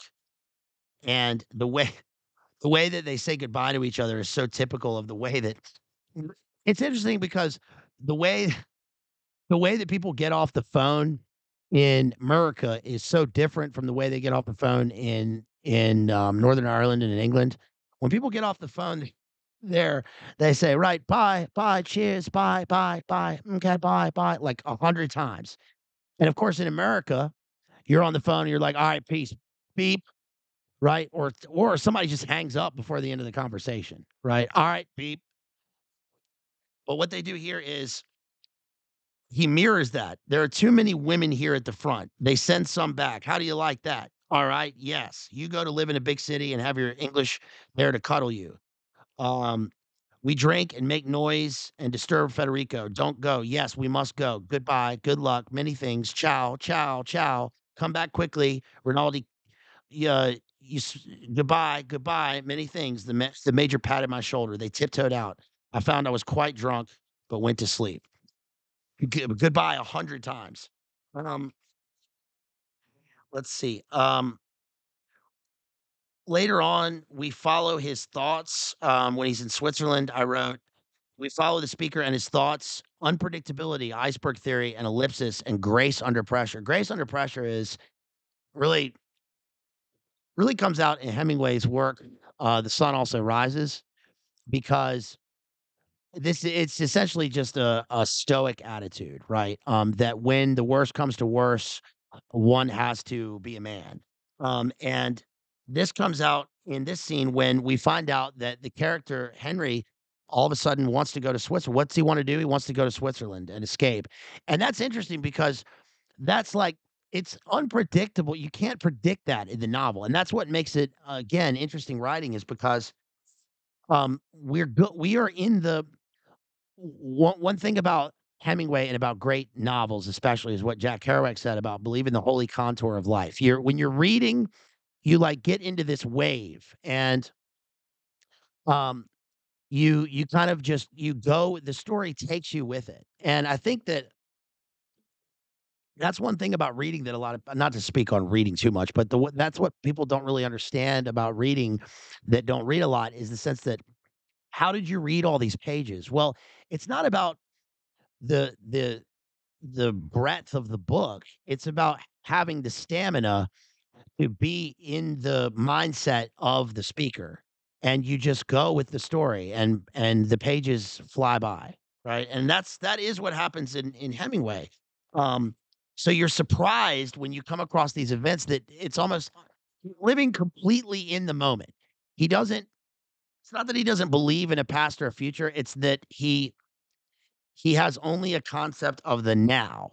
And although I don't like that and I disagree with that, especially in terms of a worldview, I understand what he's saying. Um, on page four, uh, 245, he says, Don't talk about the war. I said, The war was a long way away. Maybe there wasn't any war. There was no war here. Then I realized it was over for me, but I did not have the feeling that it was really over. I had the feeling of a boy who thinks of what is happening at a certain hour at the schoolhouse from which he has played truant, which is interesting because bringing in the the the schoolhouse imagery shows that he still has this sense of innocence about him where he but instead of being completely innocent he has been experienced in a Blakean sense. He's been experienced by the war, and now he is he is hearkening back to what he wishes he could he wishes he could go back to his youth by shutting it off, by shutting off the current events. Um, shouts out to everybody out there. Thank you for joining me on this uh whatever day this is. Um, appreciate y'all coming by for Hemingway. And if there's any if there are any super chats, I'll get to those at the end. Um, let's see. Uh, while while I'm at it, because I just pulled this up, I might as well give some shouts out um, to people who have supported me. Thank you so much. Shouts out to Jonathan out there who sends five bucks and he says, "You made me read gooder." That's awesome, homeboy. That that really um that that really uh uh makes me happy. Right. Thank you so much for that. Appreciate that. Um, yo, shouts out to our homeboy out there, TH Thomas Henderson, the Kang, who sends uh $20 via PayPal. Thank you so much, Thomas. Really appreciate you. Appreciate your insights also. Thomas Henderson is a high IQ um, OG friend of ours. Um, shouts out to our homeboy Stephen Mulroney out there who sends 20 bucks via PayPal. Really appreciate you, homeboy. Thank you so much. That means a, a whole lot to me. Um, and so I'll get to any more super chats we have uh, at the end. Uh, shouts out to our homeboy Jerry out there also for being with us, exposing powerful lies, live streams. Thank you so much for being here, Jerry. Appreciate you. Um, let's see. Um, later on, when Henry meets up with Catherine Barkley, he, he is with one of her friends, um, an English an, an English friend, and she really puts it to Henry. And it's interesting because of his attitude; he doesn't respond. He just lets her talk. Um, and she says, I'm, she says, I'm not cheered by seeing you. I know the mess you've gotten this girl into. You're no cheerful sight to me because she's gotten, he's gotten her pregnant and they're not married. Um, and so she is um, understandably pissed that he is doing this to her friend. But she says, I can't stand him. He's done nothing but ruin you with his sneaking Italian tricks. Americans are worse than Italians. Catherine says the Scotch are such moral people, right? She's uh, she's Scottish, not English. Um, and she says, I don't mean that. I mean his Italian sneakiness. Am I sneaky, Fergie? You are. You're worse than sneaky. You're like a snake, a snake with an Italian uniform with a cape around your neck. I haven't gotten an Italian uniform now. That's just another example of your sneakiness. You had a love affair all summer and got this girl with child, and now I suppose you'll sneak off. Catherine says, uh, We'll both sneak off. You're two of the same thing, Ferguson said. I'm ashamed of you, Catherine Barkley. You have no shame and no honor, and you're as sneaky as he is. Don't, Fergie, she says. Don't denounce me. You know we like each other. Take your hand away, Ferguson said. Her face was red. If you had any shame, it would be different. But your God knows how many months gone with child, and you think it's a joke and, and are all smiles because your seducers come back. You've got no shame and no feelings. She began to cry. I'm not crying, Ferguson said. I'm not crying, except for the awful thing you've gotten into. He looked at me. I hate you, she said. You can't make me not hate you, you dirty, sneaking American Italian. Her eyes and nose were red with crying. This is a this is a great scene. This was this this one really gets me because the the woman is right. And Catherine is annoying because first of all, when they go on their date, when they when they first go on their date, um, when Henry goes on his date with Catherine, um, they embrace, and she immediately is like, "Will you love me forever?" And he's like, "Whoa, hold on there for a minute." But what she's doing here is she wants she wants love. She wants to be loved, and she wants to give love. Now that's that's a little interesting because in the rest of the book, she it's through the eyes, of course, of Henry, so he doesn't say everything that she says, but she wants a life together, and he is of course, he didn't wait um, to marry her, but he wants to to get married. You know, the war is on, but everybody else is getting married right during the war, and so he puts it off. And this is because he is the opposite. He doesn't believe in love. Right? John B says, "Promise me you'll never die," and that's ironic because she's the tragic character. She she dies. And not only does she die, she takes the past with her because she dies, and she takes the future with her because their child dies. And so again, Henry is left with exactly what he wanted, which is the present moment. he has no no past and no future, and he walks into the rain. He walks into the rain like like Robert Frost acquainted with the night. Right, and we know that he's, like, dead inside, but the thing is is, like, you wanted this, dude. This is exactly what you wanted. Also, the imagery with the snake is interesting because I wrote CF page 170. On page 170, um, Henry's talking to this to his friend Rinaldi, and Rinaldi says, um, let's see, um the old Superman, I said, "I'm jealous, maybe," Rinaldi said. "No, you're not. I don't mean like that. I mean something else. Have you any married friends?" "Yes," I said. "I haven't," Rinaldi said. "Not if they love each other." "Why not? They don't like me." "Why not?" "I am the snake. I am the snake of reason." And he says, "You're getting it mixed. The apple was reason." "No, it was the snake. He was more cheerful." "Okay. Right." "You're better when you don't think so deeply," I said. "I love you," he said. "You puncture me when I become a great Italian thinker, but I know many things I can't say. I know more than you. Yes, you do. But you will have a better time. Even with remorse, you will have a better time. Even with remorse." So we know that he will have remorse, right? But it's interesting because now he is called the snake. He is the serpent, right? He's ruined her. Um, it's interesting that also that his love is what it's again, it's like in Apocalypse Now, right? Remember in the Apocalypse Now Redux when Willard meets the the French plantation scene, he meets the the chanteuse or whatever, you know, and she's offering the opium pipe, and she says, "You see, there are two of you, one that loves and one that kills." So again, in war, in the wartime setting, we have this weird line of love and death. And of course, this ties into the French idea. They're, you know, they're talking about the French, and this is the French idea of the big O, right? Le petit mort, the little death. So death is tied in with a kind of a sexual energy. And this is exactly what he wants. We find that he is regretful and that he doesn't want it, but he is he is he is doing the things that Fer that Fergie says that he's doing, which is he is sneaking around. That's literally what he's been doing. He snuck off. He snuck off like a snake, and then he and then he got on the train, and he made his way, you know, snaking through the countryside. He, um, made his way out of the river, snaking through the grass, right? He so so it's like this is what you know, Harold Bloom makes a good point because he says that Hemingway is essentially just espousing the American Gnostic religion, right? Remember we talked about that when in the Melville streams where where, you know, Melville says basically the the American religion, this is a you know, he's he's being this is uh figurative and it's metaphorical, but it's also pretty insightfully metaphysical where he says that the American religion, because America has no state religion, is the religion of a kind of mix of Gnosticism and Pentecostalism. And that is really, in a way, what Hemingway represents in his writing because it's about how the world is broken. It's a prison planet. It's the broken world, and he needs to.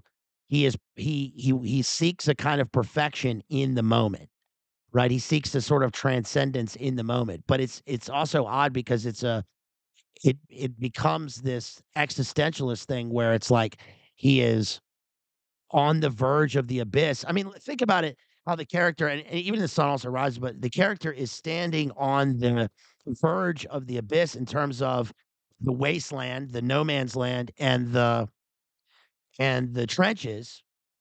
So there's an abyss down below, right? It's like what Rambo says: "Heaven is above, hell is certainly down below," and he wants to be in this, right?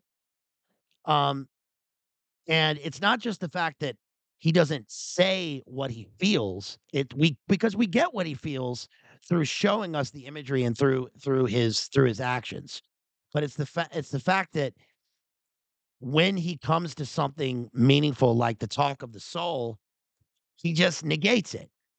It it's just it's what it's it's you know this leads into the postmodernism of William Burroughs when we just covered with Jerry and William Burroughs talks about like the postmodern man is essentially one of negation.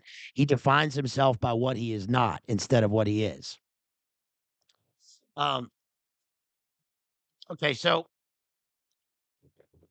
on page 249 here uh, we get this really I mean, this is the key passage in the whole book for me. Um, and you can always tell when you're gonna get to the key passage, especially in Hemingway, because we have a long unbroken block of prose.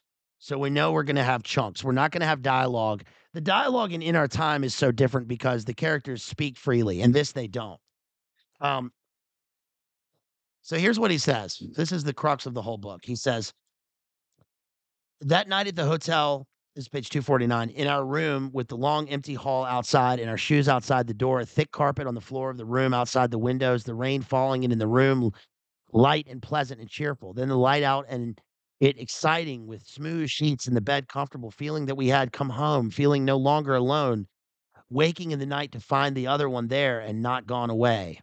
Semicolon. All other things were unreal. We slept when we were tired, and if we woke, the other one woke too, so no one was not alone. Often a man wishes to be alone, and a girl wishes to be alone too. And if they love each other, they are jealous of that in each other. But I can truly say we never felt that. We could feel alone when we were together, alone against the others. It has only happened to me like that once. I've been alone while I was with many girls, and that is the way that you can be most lonely. But we were never lonely and never afraid of when we were together. I know that the night is not the same as the day, that all things are different, that the things of the night cannot be explained in the day because they do not then exist. And the night can be a dreadful time for lonely people because once their loneliness has started. But with Catherine, there was almost no difference in the night except that it was an even better time. If people bring so much courage to this world, the world has to kill them to break them. So, of course, it kills them. The world breaks everyone, and afterward, many are strong at the broken places. But those that will not break, it kills. It kills the very good and the very gentle and the very brave impartially. If you are none of these, you can be sure it will kill you too, but there will be no special hurry. So that's Hemingway's. I mean, that's the worldview. That is, that is the novel. That's Hemingway's work right there. If you if you don't know anything about else about Hemingway, that's it. So notice what Bloom calls the sort of American Gnosticism in this, right? The world is broken, everything's broken, and it's going to break you too. Now, that's not to say that there's not truth in that, in the sense that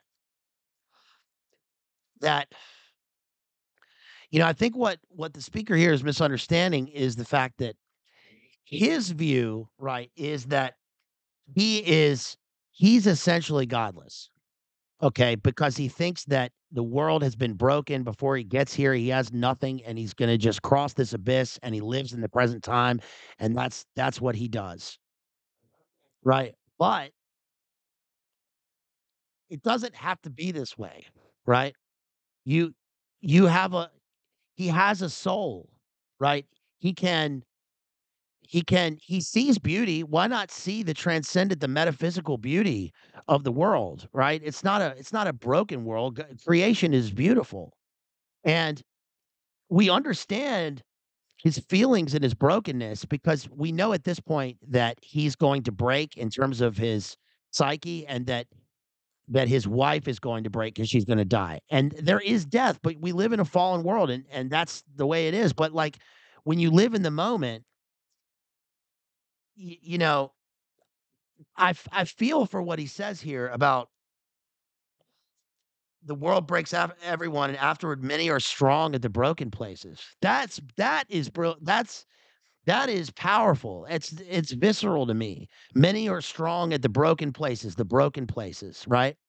But we broke those places. People break those places, right? The broken places in the war are because people did that, right? God is seeking to uh, heal the broken places and to mend them, to heal his soul.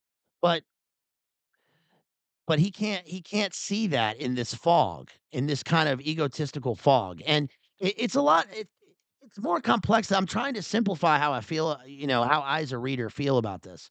But I think that it's so painful because like any person reading this can like with any amount of experience or or insight can understand what he's saying here, but there's something else, right? And but I do think that there is a beauty here. This is a kind of a Whitman beauty, right? Um you know, what Whitman says, um, you know, "I was there," Whitman says, right? Well well, he was there, this character was there, okay? But he's going to go on. His soul will go on. His love could go on. But he has to for one, at the very least, he has to understand that what Catherine says I'm paraphrasing the book, but Catherine says or one of the characters says to him, basically that love is not like the lust in the pre present moment or the the fulfillment of the the basement of the senses, right? Love is giving. Love is the giving is is loving love is loving someone else. It's the ability to want to to to serve, to to serve God and to serve to to serve it's love. The greatest of these is love, right? And that yeah, Thomas Henderson says God also works through us in our weakness. I mean, absolutely, right? And he but he has to he has to he has to let that happen. And he's so he's closed off, and I don't mean closed off in a psychiatric way. I mean closed off in the way that he's like he's at the edge, okay? But some at some point at the edge, you have to you know, I guess as a as a human, as a human person, as a man, you have to give yourself up, you know? Um, and and you have to you have to love, right?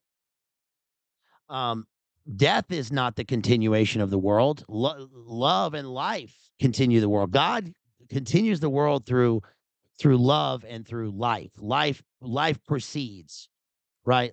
Through creation, not through constant it's not it's not death. Yes, we live in the fallen world, but it's not the death that does that. And um, so so he goes on and he says, um, he it's interesting 'cause then he goes on to this pool hall and he meets, uh, he meets this old man. This old this guy's an old, um, count, and they play pool together, and the old count is there, and the old count he basically says, you know, the character says, Henry Henry says, um, "You're very wise," and the old man says, "I'm not so wise." He says, "The great fallacy of wisdom is in old age, uh, old men don't grow wise, they grow careful," which is which is insightful. Um, but but that is wise. That's a wise statement. And he goes on to uh, when they make it to Switzerland, eh, um, this is page 289, he says, um, this is chapter 38.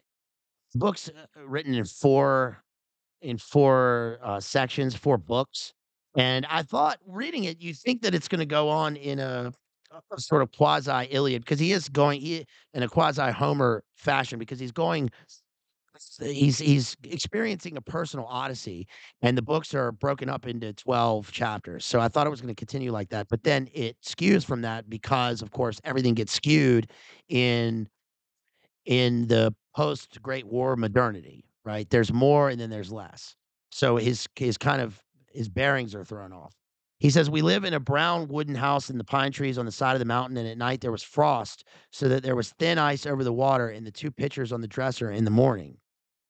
Be beautiful, uh uh uh, you know, beautiful just sensory details, um, but he says um, let's see, they they they, uh, they go through various villages um, and then Catherine is all like at this point in the book, Catherine is, like, constantly worried about how she looks. She's pregnant, she's heavily pregnant, and she says, "I know one thing, I'm not going to be married in this splendid matronly state." "You're not matronly." "Oh, yes, I am, darling. The hairdresser asked me if this was our 1st. I lied and said no. we had 2 boys and 2 girls.' When will we be married? Anytime after I'm thin again. We wanna have a splendid wedding with everyone thinking what a handsome young couple." "And you're not worried?" "Darling, why should I be worried? The only time I ever felt badly was when I felt like a whore in Milan, and that only lasted 7 minutes, and besides, it was the room furnishings." She's concentrated on on what she looks at least she's looking forward to getting married, um and then we have the the death of the child and and her and this is so painful, um, 'cause this is at the the climax of the book, it ends you can tell that I mean, I know that Hemingway had had trouble ending the book, um, with what he's gone through, and that he wanted to call it World Enough and Time. That's a great title. Of course, World Enough and Time comes from Andrew Marvell, right? If we and we but world enough in time, this coyness lady were no crime because she's a coy. She's it's about it's about carpe diem, seizing the moment, right? Um, gather you rosebuds while ye may, old time is still a flying, and this same flower that smiles today, tomorrow will be dying. Right, says Herrick. So it's like, but anyway, so um, she says on page three twenty seven, or he says on page three twenty seven, um, I sat down on the chair in front of a table where there were nurses' reports hung on clips at the side and looked out of the windows. I could see nothing but the dark and the rain falling across the light from the windows. So that was it. That's how he sums up what's happened to him. That was it. Um, he says that his child has died. Um, that was why the doctor looked so tired. But why had they acted the way they did in the room with him? They they supposed he would come around and start breathing probably. I had he says he says he had no religion, but I knew he ought to have been baptized. Okay, good. Um, at least he's, think he's considering this. But what if he never breathed at all? He hadn't. He had never been alive, except in Catherine. I felt him kick there often enough, but I hadn't for a week. Maybe he was.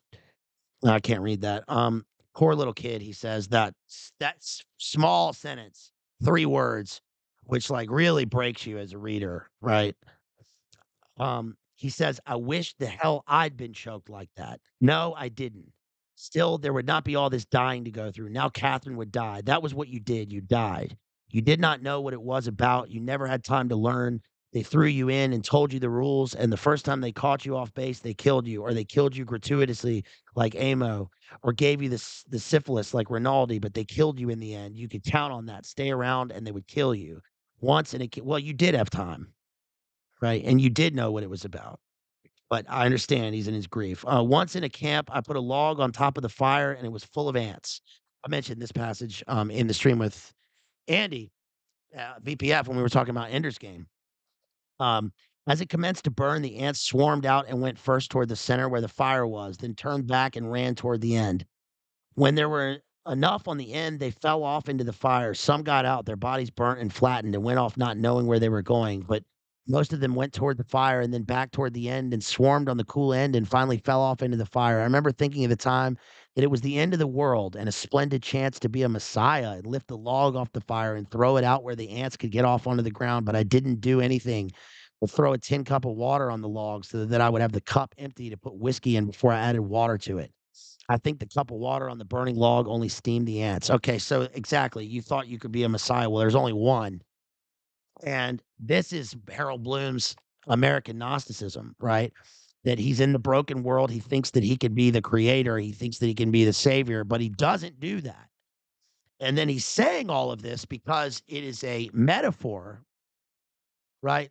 He's a oh, I'm sorry, Amtown. Um, and shouts out, shouts out to Amtown for being a big supporter of the stream. Um, and I'm trying to leave out the really bad parts. Um, but it it is it is heavy. At the end on page 330, he says, it, it is very dangerous. The nurse went into the room and shut the door. I sat outside in the hall. Everything was gone inside of me. I did not think. I could not think. I knew she was going to die and I prayed she would not die. Don't let her die. Oh God, please don't let her die. I'll do anything for you if you won't let her die. Please, please, please, dear God, don't let her die. Dear God, don't let her die.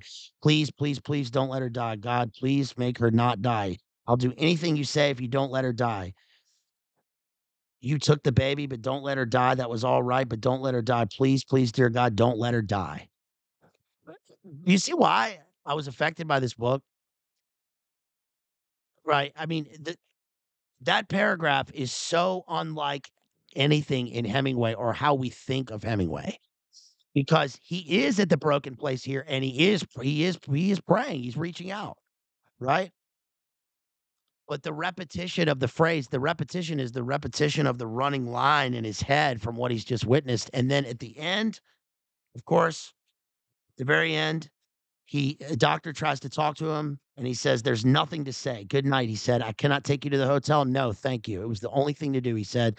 The operation proved i didn't i do not want to talk about it i said. I would like to take you to your hotel. No thank you. He went down the hall i went to the door of the room. You can't come in now one of the nurses said. Yes i can i said. You can't come in yet. Yeah you get out i said the other one too. But after i'd got them out and shut the door and turned off the light it wasn't any good. So he goes into the room and he is lying there with his with his wife who's just died, and they want they don't want to let him in, but he says, "You get out of the way. I'm going to get in the room." It was like saying goodbye to a statue. After a while, I went out and left the hospital and walked back to the hotel in the rain, and that's the end of the book. Whew, it's a heavy book. So that's a farewell to arms. Um, in our time is different. Again, if you want to support me, um, please don't hesitate to uh, send a super chat. Again, I'm reading this.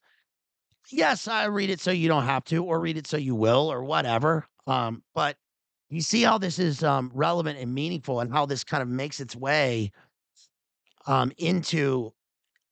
Th- this is such. This is so different from the Dickensian way. I mean, not to say that the Dickensian prose is not also truthful and and relevant because it is but it is this is written in the mode of the way that writers write now right this is the way that writers write now this is the way that people think now um and so i think it's important to cover um it's also so much more it's so much deeper and and harder than our memory of hemingway if you haven't gone back and read hemingway or you've never read him but what the kind of popular way that people think about him in our time um, was published in 1925, I think. I thought it was 23, but I think it's 25. So it's how amazing is it? Right. And we can talk about culture creation, eh, of course. Um, and these people are being promoted by by the various publishing houses and you know what you could kind of see as their agents in terms of the literary culture. I would say though that Ezra Pound is not one of those people, and he's the most I mean, he clearly wasn't. You know, Ezra Pound said, um, let's say some controversial things uh, during the war. And he was broadcasting from uh, Pisa and Rapallo. And then during the war, talking about the um, FED, RESERV, et cetera. And then when the Americans invaded and came, they found um, they had they had intercepted his broadcasts because he was broadcasting from a wartime from fascist Italy back to America and they couldn't really comprehend what they couldn't comprehend what he was saying. He was he was he was out there, man, right? And so they locked him in a cage. Um, he came back to America. He was uh, he was committed to a, a psychiatric institute and took a ten year vow of silence. Um, and because he said he had nothing else to say, he'd said what he said. He'd written what he'd written. So, I I think that it's I don't think that he was one of their people. I mean, T.S. Eliot's different, of course, because he was Lloyd's Bank. Um, but at least that's my take. That's been my take uh, for you know about I don't know twenty years. Twenty years? No, I, I guess I started reading Ezra Pound in like '96. So, um, yeah, 20, 27 years or so. Right. The entire lifetime of Jim Morrison is how long I've been reading Ezra Pound, which is a weird way to put it. Um, but anyway, so, In Our Time was published um, at the same in this, around the same time as The Wasteland and The Great Gatsby. Now, we've covered The Great Gatsby, Jeff Stine-Effrey, Great Gatsby. And the obvious correlation between, and the reason it's the lost generation is the correlation between Eliot and um, Fitzgerald is is pretty stark, right? Um, it, it, in terms of the reader, because Eliot writes The Wasteland, right? April's the cruelest month, breeding lilacs out of the dead land, stirring memory with desire, stirring, stirring dull roots of spring rain. And we have The Wasteland. We have Hemingway's Wasteland mentioned in this in terms of Nick Adams when he's on the he's on the broken and burned out landscape. And then we have um, the uh, Valley of Ashes, right, separating East and West Egg in um, The Great Gatsby. And remember, in The Great Gatsby, the Valley of Ashes essentially serves as the abyss, right? Because the characters have to cross the abyss to get to the other side. And this is, of course, where they confront death, um, sort of death incarnate in the in the actions that occur, the death of Myrtle. Remember that Family Guy? Have you ever seen the Family Guy episode of the of some of the famous American novels? Uh, when they do the Great Gatsby, it's really good. Myrtle, Oh, Myrtle. Why did I ever meet a girl named Myrtle? right. Shirt, shirt, shirt. I'm starting to think this isn't a very good book, he says. um, they do Huck Finn and that, and um, Then they later do like what is it, Misery? They do Misery by Stephen King. Um, they do Stand by Me. Um, but they do they do a pretty good, uh, you know, satirical recap of those. But anyway, um oh, one thing I forgot to mention earlier was another one we're gonna cover is The Beach. We're gonna cover Alex Garland's The Beach. I ordered a copy so I can reread that because I can't find my copy. Um, I can't find my copy of A Moveable Feast. I can't find my copy of The Beach. I couldn't find My Sun Also Rises. So they were in a box that I don't have anymore. I can't find they're not in this library, they're not in the other room, they're not in the other room. So, um help me to buy books, people, please. You can click that super chat button right there, or you can send me, um you can send me, uh, your your very, uh, gracious donos. Um, you are the gracious ones, um, for sending me the I mean I mean, I am grateful to you. It's very sw sweet of you to do that, is what I mean. You know what I mean.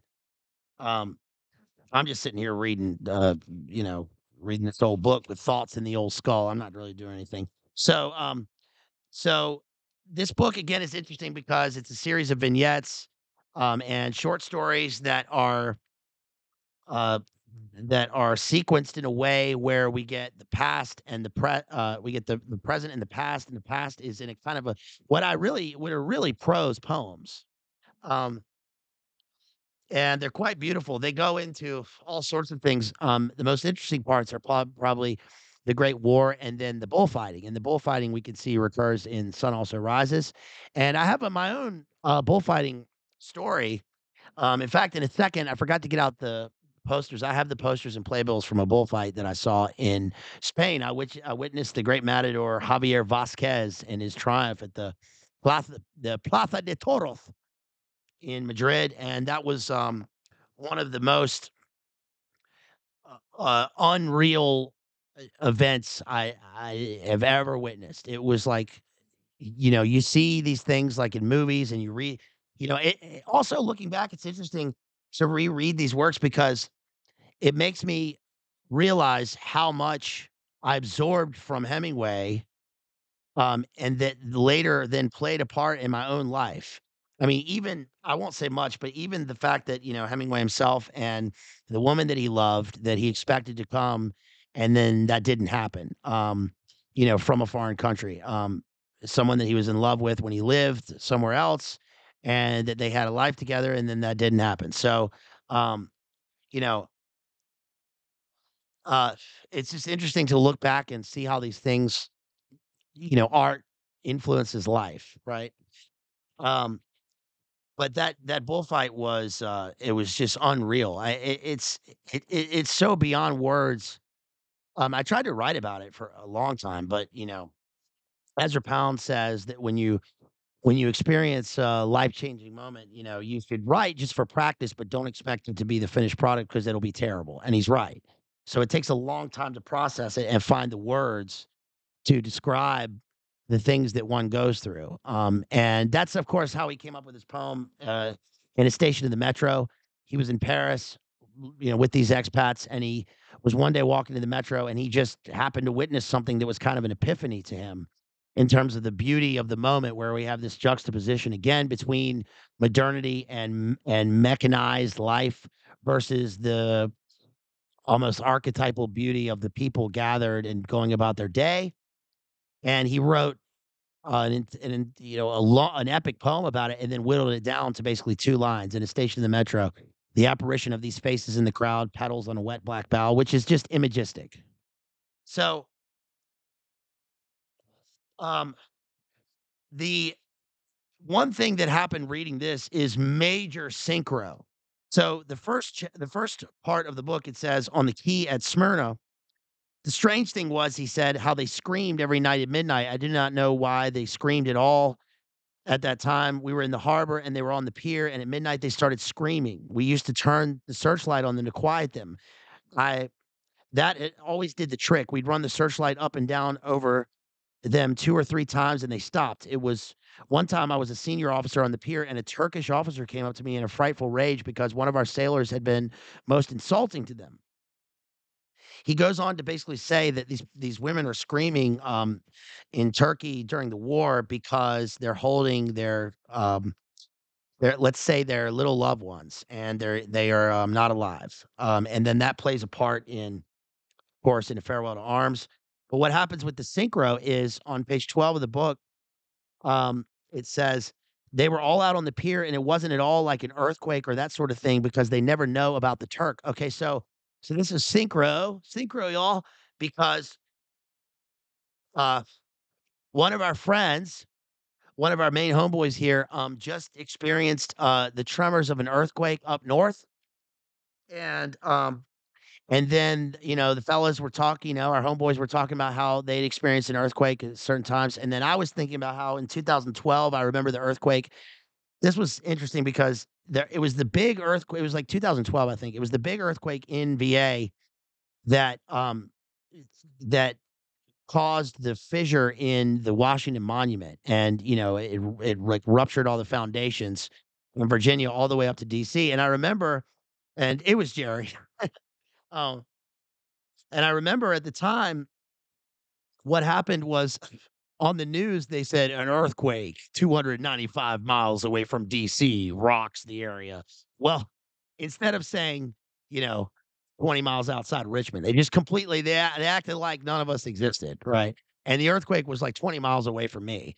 Um, and but I felt it. And and then I was thinking at the time that um I I was in an earthquake. I was in an earthquake in another earthquake. Um, and our West Coast homeboys, uh, shouts out to OK. He's he's probably been in like 322 earthquakes. Um, but when I was um 13, I was in Greece and I was in Athens and um I was staying at this place, the International Hotel in Athens, um, which is which sounds really fancy, but it was just a seedy, terrible seedy hotel. Um, and uh and I was there with my friends.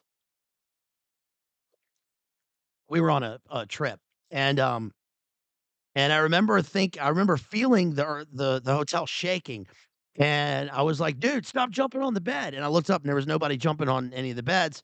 And then we were like, oh shit, it's an earthquake. It's got to be an earthquake. Um, and and it was. And this particular earthquake like rocked Turkey. And it was this huge earthquake in Turkey, like devastating. And I was thinking about that. And then right after I thought about that, I was reading the book here and I got to the part about the Turkish earthquake, which I had just been talking about. And then this occurs in the book. And then, um, was it yesterday? The news came on about the devastating um, earthquake in Turkey, right? Which is which is very synchro. So my whole point of this is that you know it. I I find this constantly in literature. Again, that you read and th- that life and literature you know literature is living it's it's constant it's like breathing it's like it's like reading breathing pages and they're living and your life the reason people write books is because the things are truthful and so they occur in the book right and that's just crazy it's it's crazy to me i don't mean that in a jungian sense uh, like literally i i mean that it it is crazy how it's crazy it's crazy, um, how these things constantly recur. And I've told you about how I'll be reading, and this occurred in A Farewell to Arms. I was there was one part where I was reading I was reading something, I was listening to music. It occurred with Kings of Convenience in one of those other streams, but I was reading something and it was an unusual word. It was like was like the word vermilion, right? And all of a sudden, that's not the word, but it was like that. And then all of a sudden, I was listening to some song, and then I heard that word. Now, now that I've said vermilion, I'm going to see the word vermilion somewhere, and not just by reading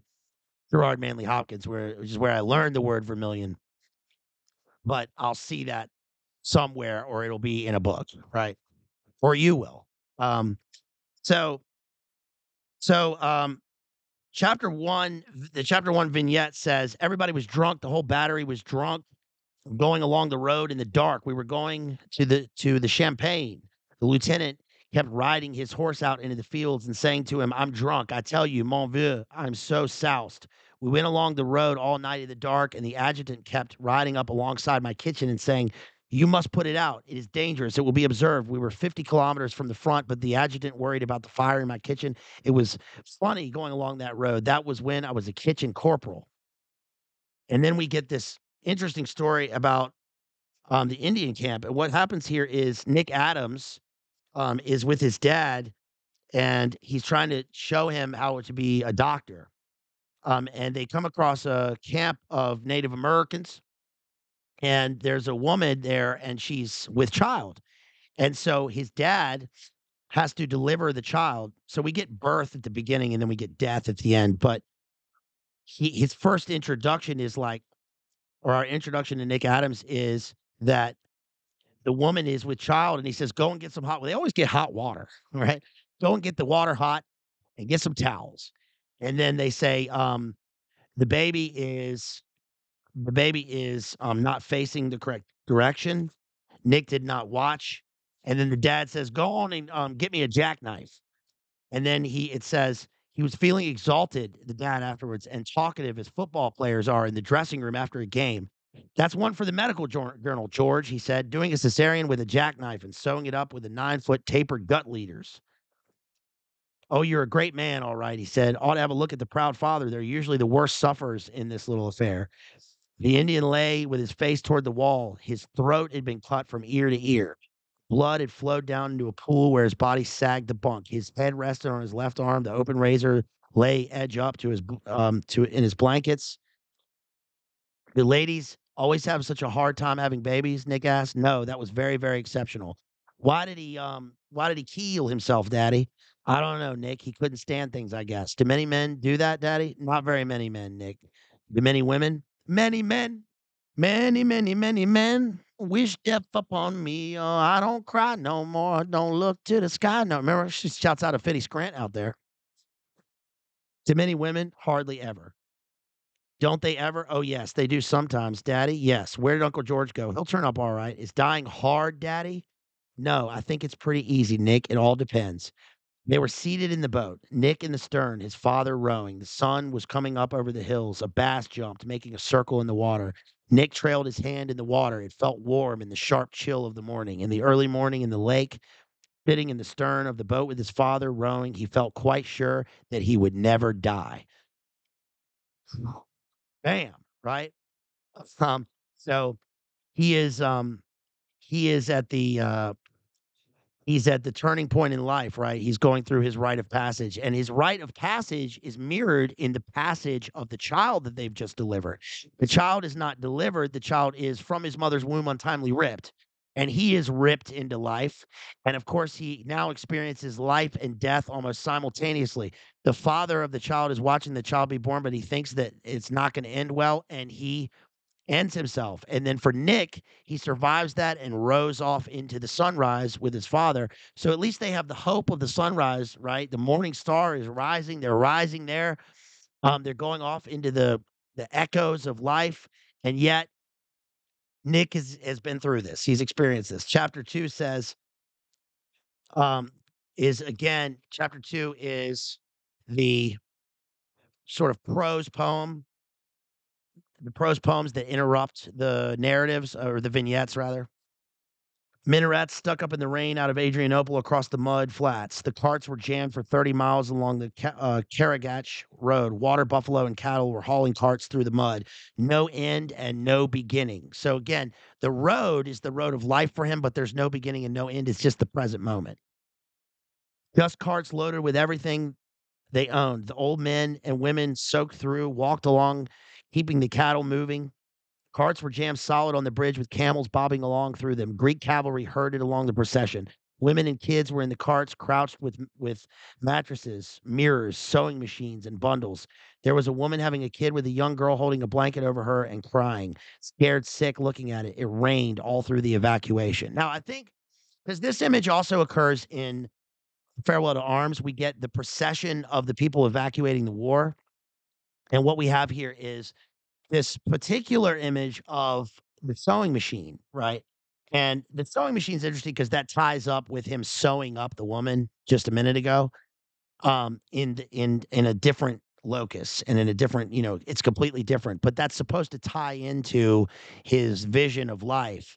And the sewing machine also is a it's such a particular image that I can't help but think, and it's not really important, but I can't help but think that Hemingway must have observed this in his real life. That it's so stark. It's like you see these people and they're evacuating and they've got all this stuff, kind of like in um in the Empire of the Sun, right? All the people are are evacuating from the Japanese invasion and they've got these carts and the carts are loaded almost like Blood Meridian style. The carts are loaded with like all of their their objects and like they've got mirrors and chandeliers and stuff. So it almost becomes this like weird this this weird um uh procession of like you know it's like a medieval puppet play or like it's it's like in um it's like in Rosencrantz and Guildenstern are dead which we covered in one of our other streams um as part of it where like the the traveling troupe of actors they can they have everything with them in the caravan but here it's different because these people are all at a loss and they're on this road with no beginning and no end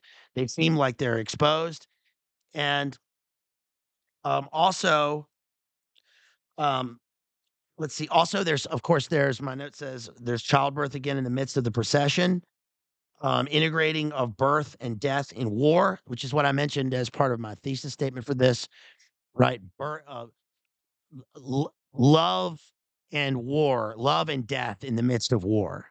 Um, yes, it, Thomas Anderson says maybe he saw something like this in Spain. Um, think of what he, I mean, think of witnessing like the, you, you see the Spanish Civil War, you see the D-Day invasion, you you're in Italy in World War One. Um, it's a, that's a lot. And of course, he's a correspondent, you know, he's a journalist or whatever, but he's not really a journalist. I mean, he's he's writing articles or whatever so he can go there, but it's all but it's all material for his novel, which is different than, you know, when you see uh Canderson Ooper with the green screen in Iraq, you know. Maybe it's the same in terms of maybe it is the same. Maybe it's just a different version of that. But regardless, um like Whitman says, he was there. Um and so, you know, I I just can't it's hard to imagine these things. That's why we have his writing, I suppose. Um, in the next scene, and then in one of the one of the other vignettes, we get that his um his dad gets in a fight with somebody. Um, and he he sees his dad fight. Uh, chapter four, the chapter four prose poem. It was a frightfully hot day. We jammed an absolutely perfect barricade across the bridge. It was simply priceless. A big old wrought iron gutting from the front of a house, too heavy to lift, and you could shoot through it, and they would have to climb over it. It was absolutely topping. They tried to get over it, and we potted them from 40 yards. They rushed it, and officers came out along and worked on it. It was an absolutely perfect obstacle. Their officers were very fine. We were frightfully put out when we heard the flank had gone and we had to fall back. And this is interesting because again, this is just the this is almost Rimbaudian. This is like in Illuminations um, when he talks about the Brooklyn Bridge or in in uh, the Drunken Boat. And It's just like it's the image of what we see there in the moment, and the symbolism is heavy, but obviously because we get the characters here who it, this is truthful. They are concentrated on what they are doing and they take such pride in being able to build this obstacle and that's life and then the the irony is that the obstacle of course is the obstacle to life and that they're going to live and the gods coming over it are going to die. So war again is this kind of crucible crucible of life events. Um one of the other stories uh is um let me gotta find which one it is um I'm not gonna look for it. I'm just gonna paraphrase it. So what happens in one of the other stories is that like he's a kid and his dad, um, like there it's dealing with horses and his dad, um, basically we figure out that they're fixing the horses and so there's this beautiful horse and then at the end of the race one of the jocks was like yeah he was a great horse he had to work so hard to not let the horse win so they're holding back they're holding back life and motion and it's all fixed and then his dad goes for a ride on the horse the horse bucks his dad dies and then somebody goes over and shoots the horse and then right after that, he hears these these adults talking, and the guys are like, "Yeah, he had it coming to him." So, so in one moment, right in like the span of just a few minutes, his dad dies. That's tied up with the horse now being killed and then learning this thing about his dad and he doesn't and he sits there and he cries and they're like don't listen to what they said about your dad. He was a fine fella. And it's like but he can't ever forget that. Um we uh let's see chapter 15 um they hanged Sam Cardinella at six o'clock in the morning in the corridor of the county jail. The corridor was high and narrow with tiers of cells on either side.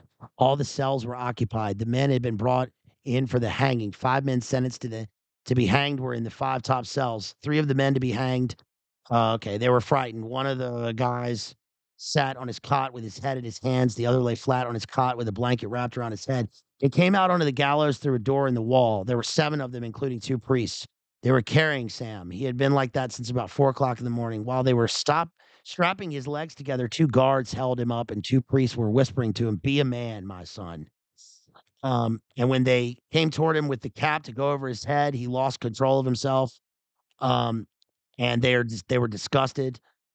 Then they put him in a chair and they hang him, and the priest stepped back off the scaffolding just before the drop fell. And then we get the Big Two Hearted River. And the Big Two Hearted River and Big Two Hearted River Part Two talk about basically how the landscape is broken and burned out. And this guy, he's just, he's fishing.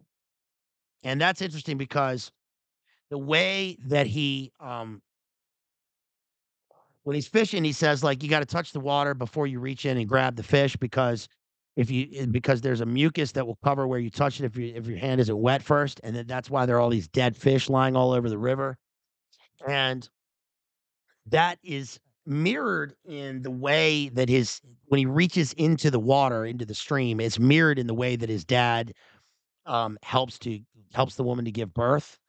And it's also mirrored in the way that in farewell to arms henry falls into the river um, or jumps into the river to escape, and then this sort of gives him life. He could live or die. He could be shot in the water, right when he first dives in, or he could live, and he, he ends up living. And he goes again. He goes through this kind of baptismal imagery of changing uh, his his his his worldview is um to is kind of cauterized after he which is ironic, right? Um, after he gets out of the river because he's gone through a, a baptism of fire and a another sort of baptismal imagery in the water coming out and going on to the other side. He crosses the other side. The water is also the abyss, of course. Um, but the scene that's the that is really one of my favorites is when he talks about um the bullfight and uh, the one where it has the rigged, um, the rigged horse, which also has echoes of kind of you can see Hunter S. Thompson and his Fear and Loathing in, at the Kentucky Derby as sort of taking uh, its cue from this in a little way. Um, it's called My Old Man in chapter 13.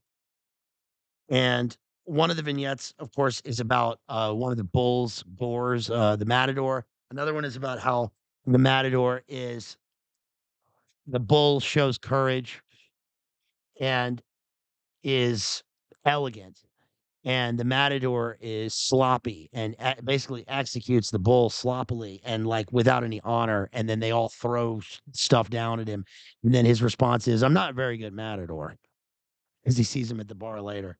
Um chapter 12 this is very fa- this is really famous i'll kind of end with this. This is really famous hemingway. Um it happened right down close in front of you. You could see Villalta snarl at the bull and curse him. And when the bull charged, he swung back firmly like an oak when the wind hits it, his legs tight together, the muleta trailing and the sword following the curve behind. Then he cursed the bull, flopped the muleta at him, and swung back from the charge, his feet firm, the muleta curving, and at each swing, the crowd roaring. When he started to kill, it was all in the same rush, the bull looking at him straight in front hating. He drew out the sword from the folds of the muleta and sighted with the same movement and called to the bull, Toro, Toro. And the bull charged, and Villalta charged, and just for a moment they became one. Villalta became one with the bull, and then it was over. Villalta standing straight in the red hilt of the sword, sticking out dully between the bull's shoulders. Villalta, his hand up at the crowd, and the bull roaring blood, looking straight at Villalta and his legs waving. Now that is a br- uh, brilliant passage and play-by-play of the bullfight itself because and I, I personally think this is brilliant because that was clearly in my mind when I saw um, the bullfight with Javier Va- Vasquez in uh, Madrid, because the the what the bullfight is supposed to be in terms of its aesthetic and its kind of ritual is that the mat it's a dance, it's a it's a dance macabre, it's a dance of death, and that they are supposed to be kind of equal adversaries in this ring. And say what you will about the bullfight, you know, all that stuff, but but at the moment of triumph, it's either the matador gets bulled, I mean, gets gored by the bull, or they be they or he he kills the bull, but in an in an in an elegant way where it's it's just him and the bull, and they're at a match, and it's all in one fluid motion. It's almost like lightning fast, like you can't even see it, but it's it's flourishing, and it's like this this weird um this weird death dance, right? It's an I mean, it's an ancient it's like an ancient ritual, a, a, a Greco-Roman ritual that you're seeing in real time in real life. It's it's eh, I mean, it's it's like astounding. It's stunning. You can't believe that you're there for this. Um, and you know, it's hard. It's it's pretty hard to process. Um, and so, uh, anyway, I've got I've got um posters. Should I go look for them? Thanks, thanks y'all for being here. I'm gonna I'll be right back. I'm gonna get them from this closet right here. Hold on a second.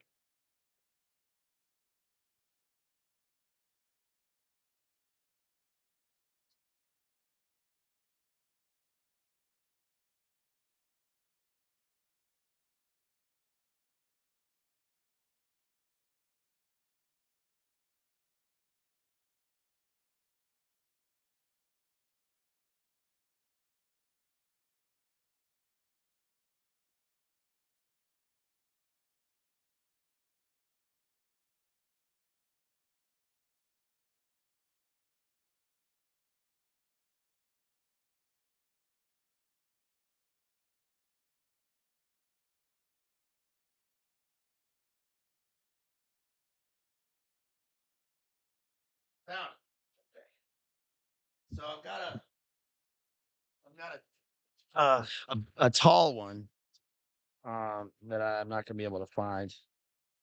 Um, but this is one of the bills from when I was there um in Spain. And this is one of the ones that I witnessed is oh, it's March uh 30th, 2003. This is an actual bill from the wall that I found. I don't know, it's just interesting. Um, and then this is one of the other ones that I found when I was there. This is a bullfighting bill. Um, and there he is, uh, there's the matador. And then um, this is the my favorite one because this is Javier Vasquez. This is April sixth, 2003. Javier Vasquez. And there he is with the bull. So anyway, those are authentic uh playbills, I guess, I suppose, um, from uh from Spain. So Spain is a Spain is a so amazing and mind blowing. It's one of my favorite places I've ever been. I spent about three weeks or a month in Spain in 2003. Uh, I was there. I was in Sevilla for uh, Santa de Semana. Uh, I went. I was in Almeria, Barcelona, Madrid. Um, a bunch, a bunch of places in Spain. Um, and it was it was beautiful. Um, so I should have this framed, especially this Javier, especially this Javier Vasquez one. I've got another one that's like really large, really tall, really large. Um, this is my favorite one because I mean this it really was brilliant. Um, he was exactly I, I imagined perfectly what Hemingway was seeing um when he saw the bullfight in Spain. And I've got a picture of Hemingway at the bullfight. I don't know if I loaded it on here, so I might not be able to find it.